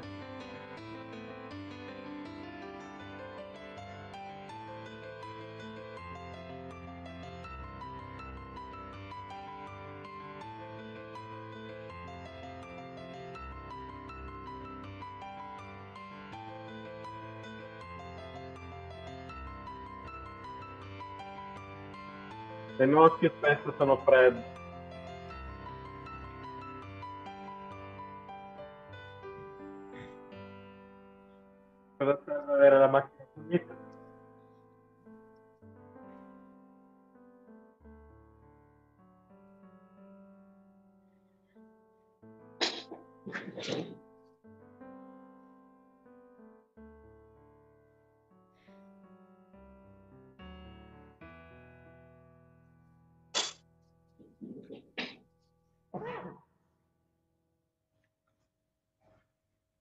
Grazie per la pazienza, per, essere, per aver abusato della, della vostra pazienza. Sì. Grazie è stato un po', un po', oltre. È stato bellissimo. Volevo allora innanzitutto uh, leggerti una cosa che mi ha scritto il tuo caro amico Daniele. eh, dunque, leggo. Eh, c'è gente che trascorre la nottata salendo e scendendo da una scala per vedere evanescenti macchioline, no? Sono affermazioni che, su, che, che, che fanno, diciamo, gli astrofotografi. Allora, eh, lui mi ha detto di dirti che al vertice della piramide, leggo, eh, dell'astrofilia c'è l'astrofilo visualista che certo. contempla e gode per tutta la nottata delle meraviglie del cielo notturno e non sta a giocare con cavetti, a giocare con cavetti e dispositivi elettronici vari e poi a casa a giocare con i colori dello schermo del PC. Questa è la risposta del tuo amico Daniele. È una bella provocazione, vero? Oh no, no. Insomma, Daniele, con Daniele ci prendiamo sempre in giro su queste cose, però sono veramente contentissimo di poter, di poter spesso mettere l'occhio nel suo oculare, di sfruttare tra un'astrofotografia e l'altra il tempo per, per chiacchierare, per guardare col suo telescopio. Bene, bene. Allora, invece abbiamo una domanda da Luisa, che oltre a farti i complimenti per la passione, la competenza e la piacevolissima esposizione, voleva sapere quanti eh. anni avevi quando hai incominciato. Eh. Allora, il mio primo telescopio eh, me lo sono fatto regalare a 15 anni e poi da lì è iniziato tutto. E quanti anni ha ora? E non si può dire. Eh, per capire. A me l'ha detto. 30 in più di, di quando è iniziato. 30 in più, insomma, sono 30 anni che, che osservi, fotografi il cielo, meraviglioso. Eh, allora, Franco aveva chiesto se potevi spiegare brevemente il procedimento del time lapse e l'hai fatto. Eh, e no, Franco ma chiede... mi riferivo, scusa, mi riferivo più precisamente ai programmi che usa per mettere ah. insieme se può certo. dare qualche ragguaglio un po' più tecnico. Sì, sì, certo. Allora, per quanto riguarda eh, vabbè, la ripresa, non c'è software che serva, basta la fotocamera e una serie di scatti. Eh, dopodiché, però, sicuramente consiglio della ripresa di farla utilizzando eh, i file in RAW, cioè registrare i file in formato RAW. Per la se Canon, si usa una camera? Eh? eh? Se si usa invece che la reflex una camera, vengono fuori in fit. Sì, sì, in fit. Sì, però diciamo di solito i time lapse del cielo si fanno con una reflex eh, e quindi si hanno comunque i file digitali uh, di tipo RAW. Dopodiché uh, questi file io li processo con Lightroom. Per allinearli? No, no, per, uh, per elaborarli per, diciamo, per svilupparli, Adobe Lightroom. Eh, Adobe Lightroom permette di elaborare un frame e di applicare la stessa elaborazione a tutti gli altri nello stesso tempo. Eh. E in questo modo poi si crea il, il video con un plugin che si chiama LR Timelapse. È un plugin che si attacca sostanzialmente a, eh, a Lightroom e che poi prende tutti i fotogrammi elaborati da Lightroom e li trasforma in un video, ad esempio un, un MP4. Cos'è, scusa, un plugin a pagamento? Eh, sì, sì, è a pagamento, ma c'è, eh, credo, i 30 giorni di prova, forse no, forse c'è c'è un limite al numero di, di, di, di, immagini che si possono realizzare, forse 200 scatti, quindi se uno non fa un time lapse troppo lungo può usarlo. E anche Lightroom è un programma a pagamento, sì, si può, si può usare per, per 30 giorni di prova gratuita. E, Dopodiché i video generati con, con questo metodo uh, vanno uniti, come avete visto, in un, in un, video più lungo, mixati con la musica, aggiunte le scritte, i titoli, ehm, i, i, le, le, le, linee delle costellazioni, eccetera. Almeno questo è quello che faccio io, ma nessuno vieta di, di non farlo. E, ehm, e per fare queste operazioni utilizzo Adobe Premiere, eh, che è un altro software della suite Adobe che permette di unire tutti, tutti questi, eh, tutte queste sequenze in un unico video. Dopodiché il video, la composizione finale del video, io la carico su YouTube e poi la condivido con, uh, con altri astrofidi o chiunque voglia vederla su, su YouTube. Bene. Poi un'altra domanda, Lorenzo. Allora, hai mai fotografato il passaggio della ISS sul Sole o sulla Luna? E se sì, con quale tecnica? Che tecnica hai usato?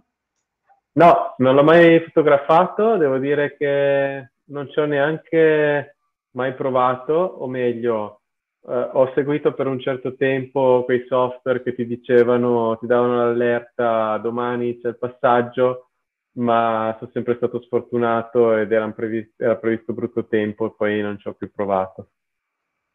Ok, Una, un'altra domanda, perché usare il dolly? Chiede Michele.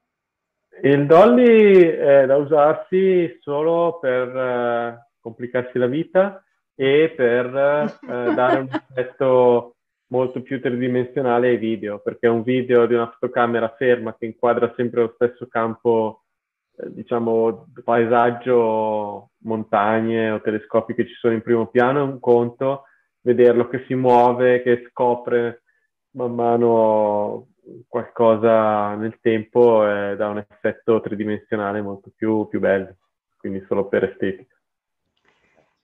Poi Alessandro, Alessandro chiede che percorsi di studi hai fatto e qualche libro da consigliare per approfondire l'astrofotografia.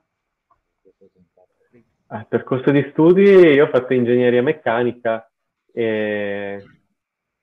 per cui diciamo che non è perfettamente attinente con uh, l'astronomia, però devo dire che viene molto utile perché con le conoscenze nella meccanica e in generale nella, nel, nella scienza, nella ricerca scientifica, si, diciamo, aiuta molto in tante tecniche dell'astrofotografia, aiuta a progettarsi i telescopi, aiuta a progettarsi tutti i pezzi che servono.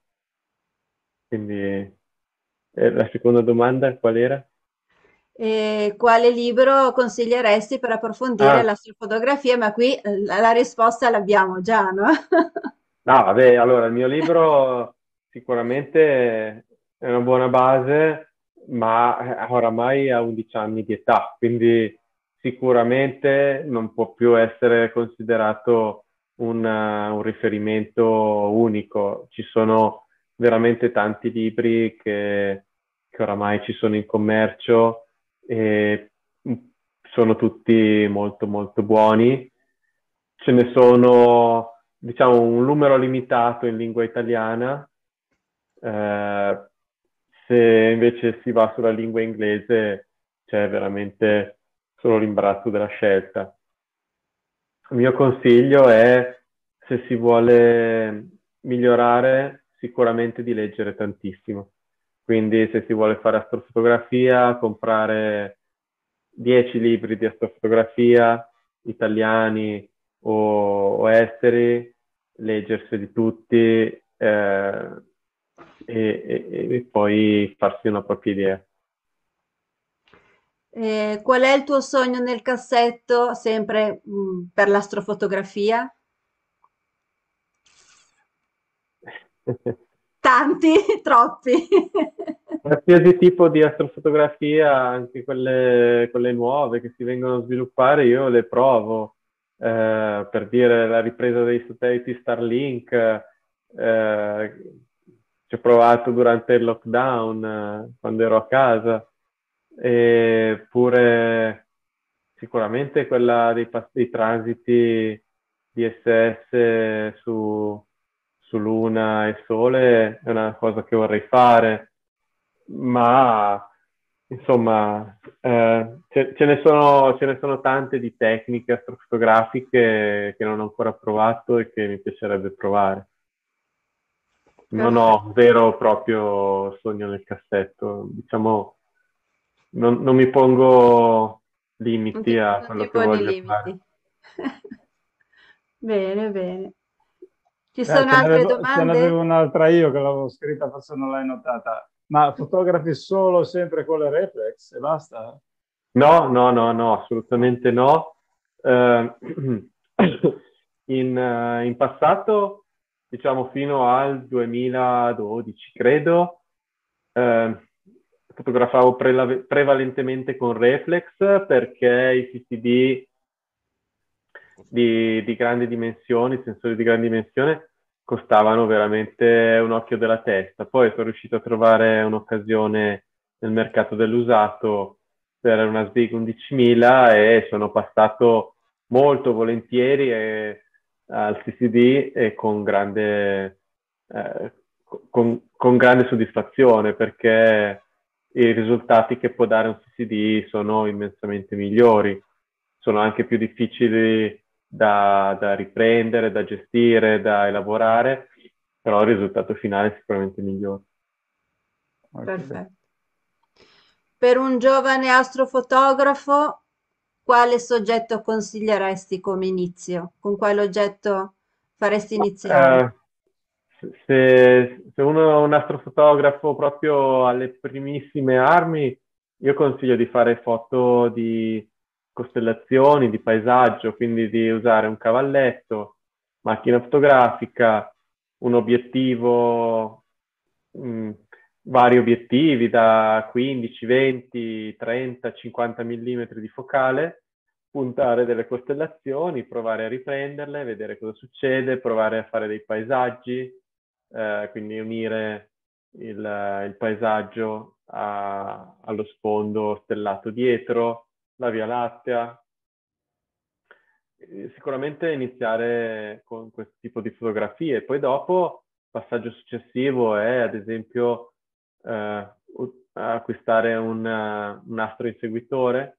Ci sono degli astro inseguitori molto economici e semplici che si possono montare su un cavalletto standard e con questo iniziare a fotografare a focali un po' più lunghe il cielo con pose un po' più lunghe, tipo non so, un 200 mm di focale con 5 minuti di posa su un astro inseguitore e a quel punto si iniziano a vedere i soggetti più deboli. Eh, a questo punto, ma non prima, eh, consiglio di valutare la modifica della, della reflex mm. con, ehm, eh, con ehm, un filtro tipo eh, il, il Bader eh, che permette di, di, di, registrare nebulose rosse che altrimenti verrebbero quasi del tutto cancellate da, dal filtro integrato nella fotocamera.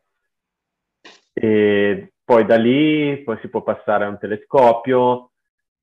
Sicuramente per astrofotografia io consiglio telescopi rifrattori a lenti perché sono uh, molto, ma molto, ma molto più facili da gestire e quindi permettono di ottenere buone fotografie molto più in fretta.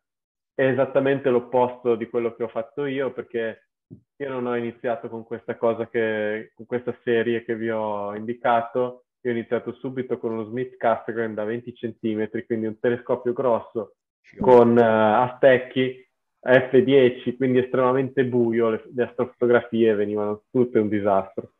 Quindi poi ci ho messo un po' di tempo per capire che dovevo passare a un rifrattore, usare il telescopio in piggyback, quindi come un mega cavalletto inseguitore. Insomma, la, la, diciamo, il percorso logico per chi inizia e non ha niente dovrebbe essere questo. Perfetto, grazie. Ci sono altre domande?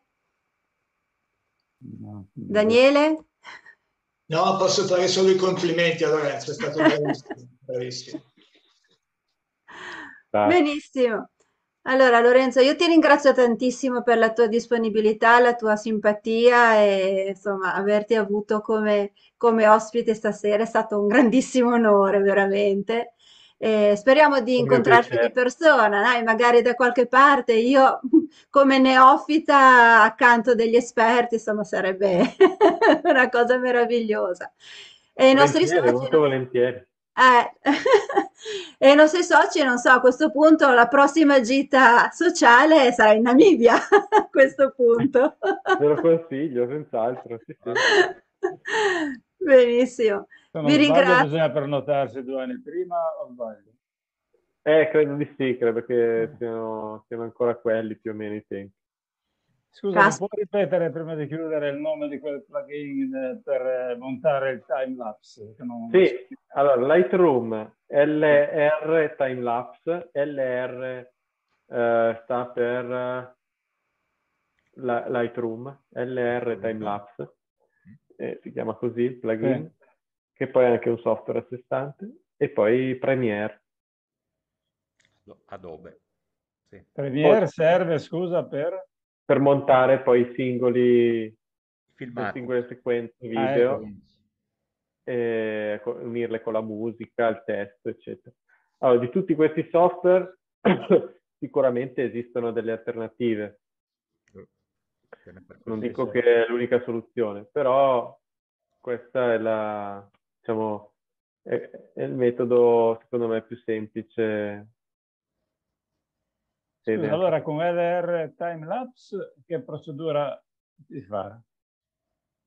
È, è complicata. Ah, ecco. eh, no, eh, allora, allora, la cosa ottima di LR Timelapse è che l'autore di questo software, che è un, uh, un fotografo, una, un astrofilo tedesco, ha fatto dei tutorial fantastici, è veramente bravissimo a spiegare in tedesco? No, in inglese. no, sono in inglese, ma parla, parla un inglese molto semplice che, che si riesce a capire. E, e inoltre è un tutorial, quindi si vede il suo software sotto eh, che ti fa vedere cosa devi fare e allora facendo passo passo il, le cose che fa lui, alla fine è facile ottenere ottimi risultati. Okay. Poi fa, fa, mille cose quel software, eh, fa, eh, fa, fa, santo, fa, anche il santo graal del time lapse perché ci, ci, sono, ci sono delle tecniche che permettono ad esempio di passare dalla notte al giorno senza mai smettere di fotografare. E diciamo un time lapse che passa dalla notte al giorno, dal giorno con visibile il sole alla notte con visibile le stelle e la Via Lattea è un po' il santo graal del, del, dell'astrofotografo time lapser perché? perché è di una difficoltà estrema riuscire a fare una cosa del genere. E questo software aiuta parecchio nel riuscire a, a ottenere questo obiettivo. Bene. Grazie. Grazie. Prego. Se ci sono, ci sono altre domande? Se anche no. ci sono delle altre domande in futuro, questi qua sono i miei riferimenti, il sito, eh, YouTube e poi soprattutto c'è la mail, mi scrivete e rispondo sempre volentieri a tutti. Molto bene, grazie. Perfetto, grazie mille. Allora ringrazio Lorenzo nuovamente, ringrazio tutti voi per essere stati qui questa sera, ringrazio Michele che è riuscito a fare tutti i collegamenti direttamente dalla nostra sede Polaris e vi, vi saluto, grazie di tutto e vi auguro una buona serata. Poi questo video bisogna rivederlo assolutamente per gustare ulteriormente tutti i bei particolari e le belle fotografie e poi ci organizzeremo per incontrarci di persona da qualche parte. Grazie a grazie, tutti e buona Grazie serata. mille a tutti grazie. grazie mille Paolo per l'organizzazione. Ciao a tutti, Ciao, buonanotte. Buonanotte. buonanotte. a tutti, grazie. Ciao Michele, grazie di tutto. Ciao, ciao, ciao ragazzi. Ciao a tutti.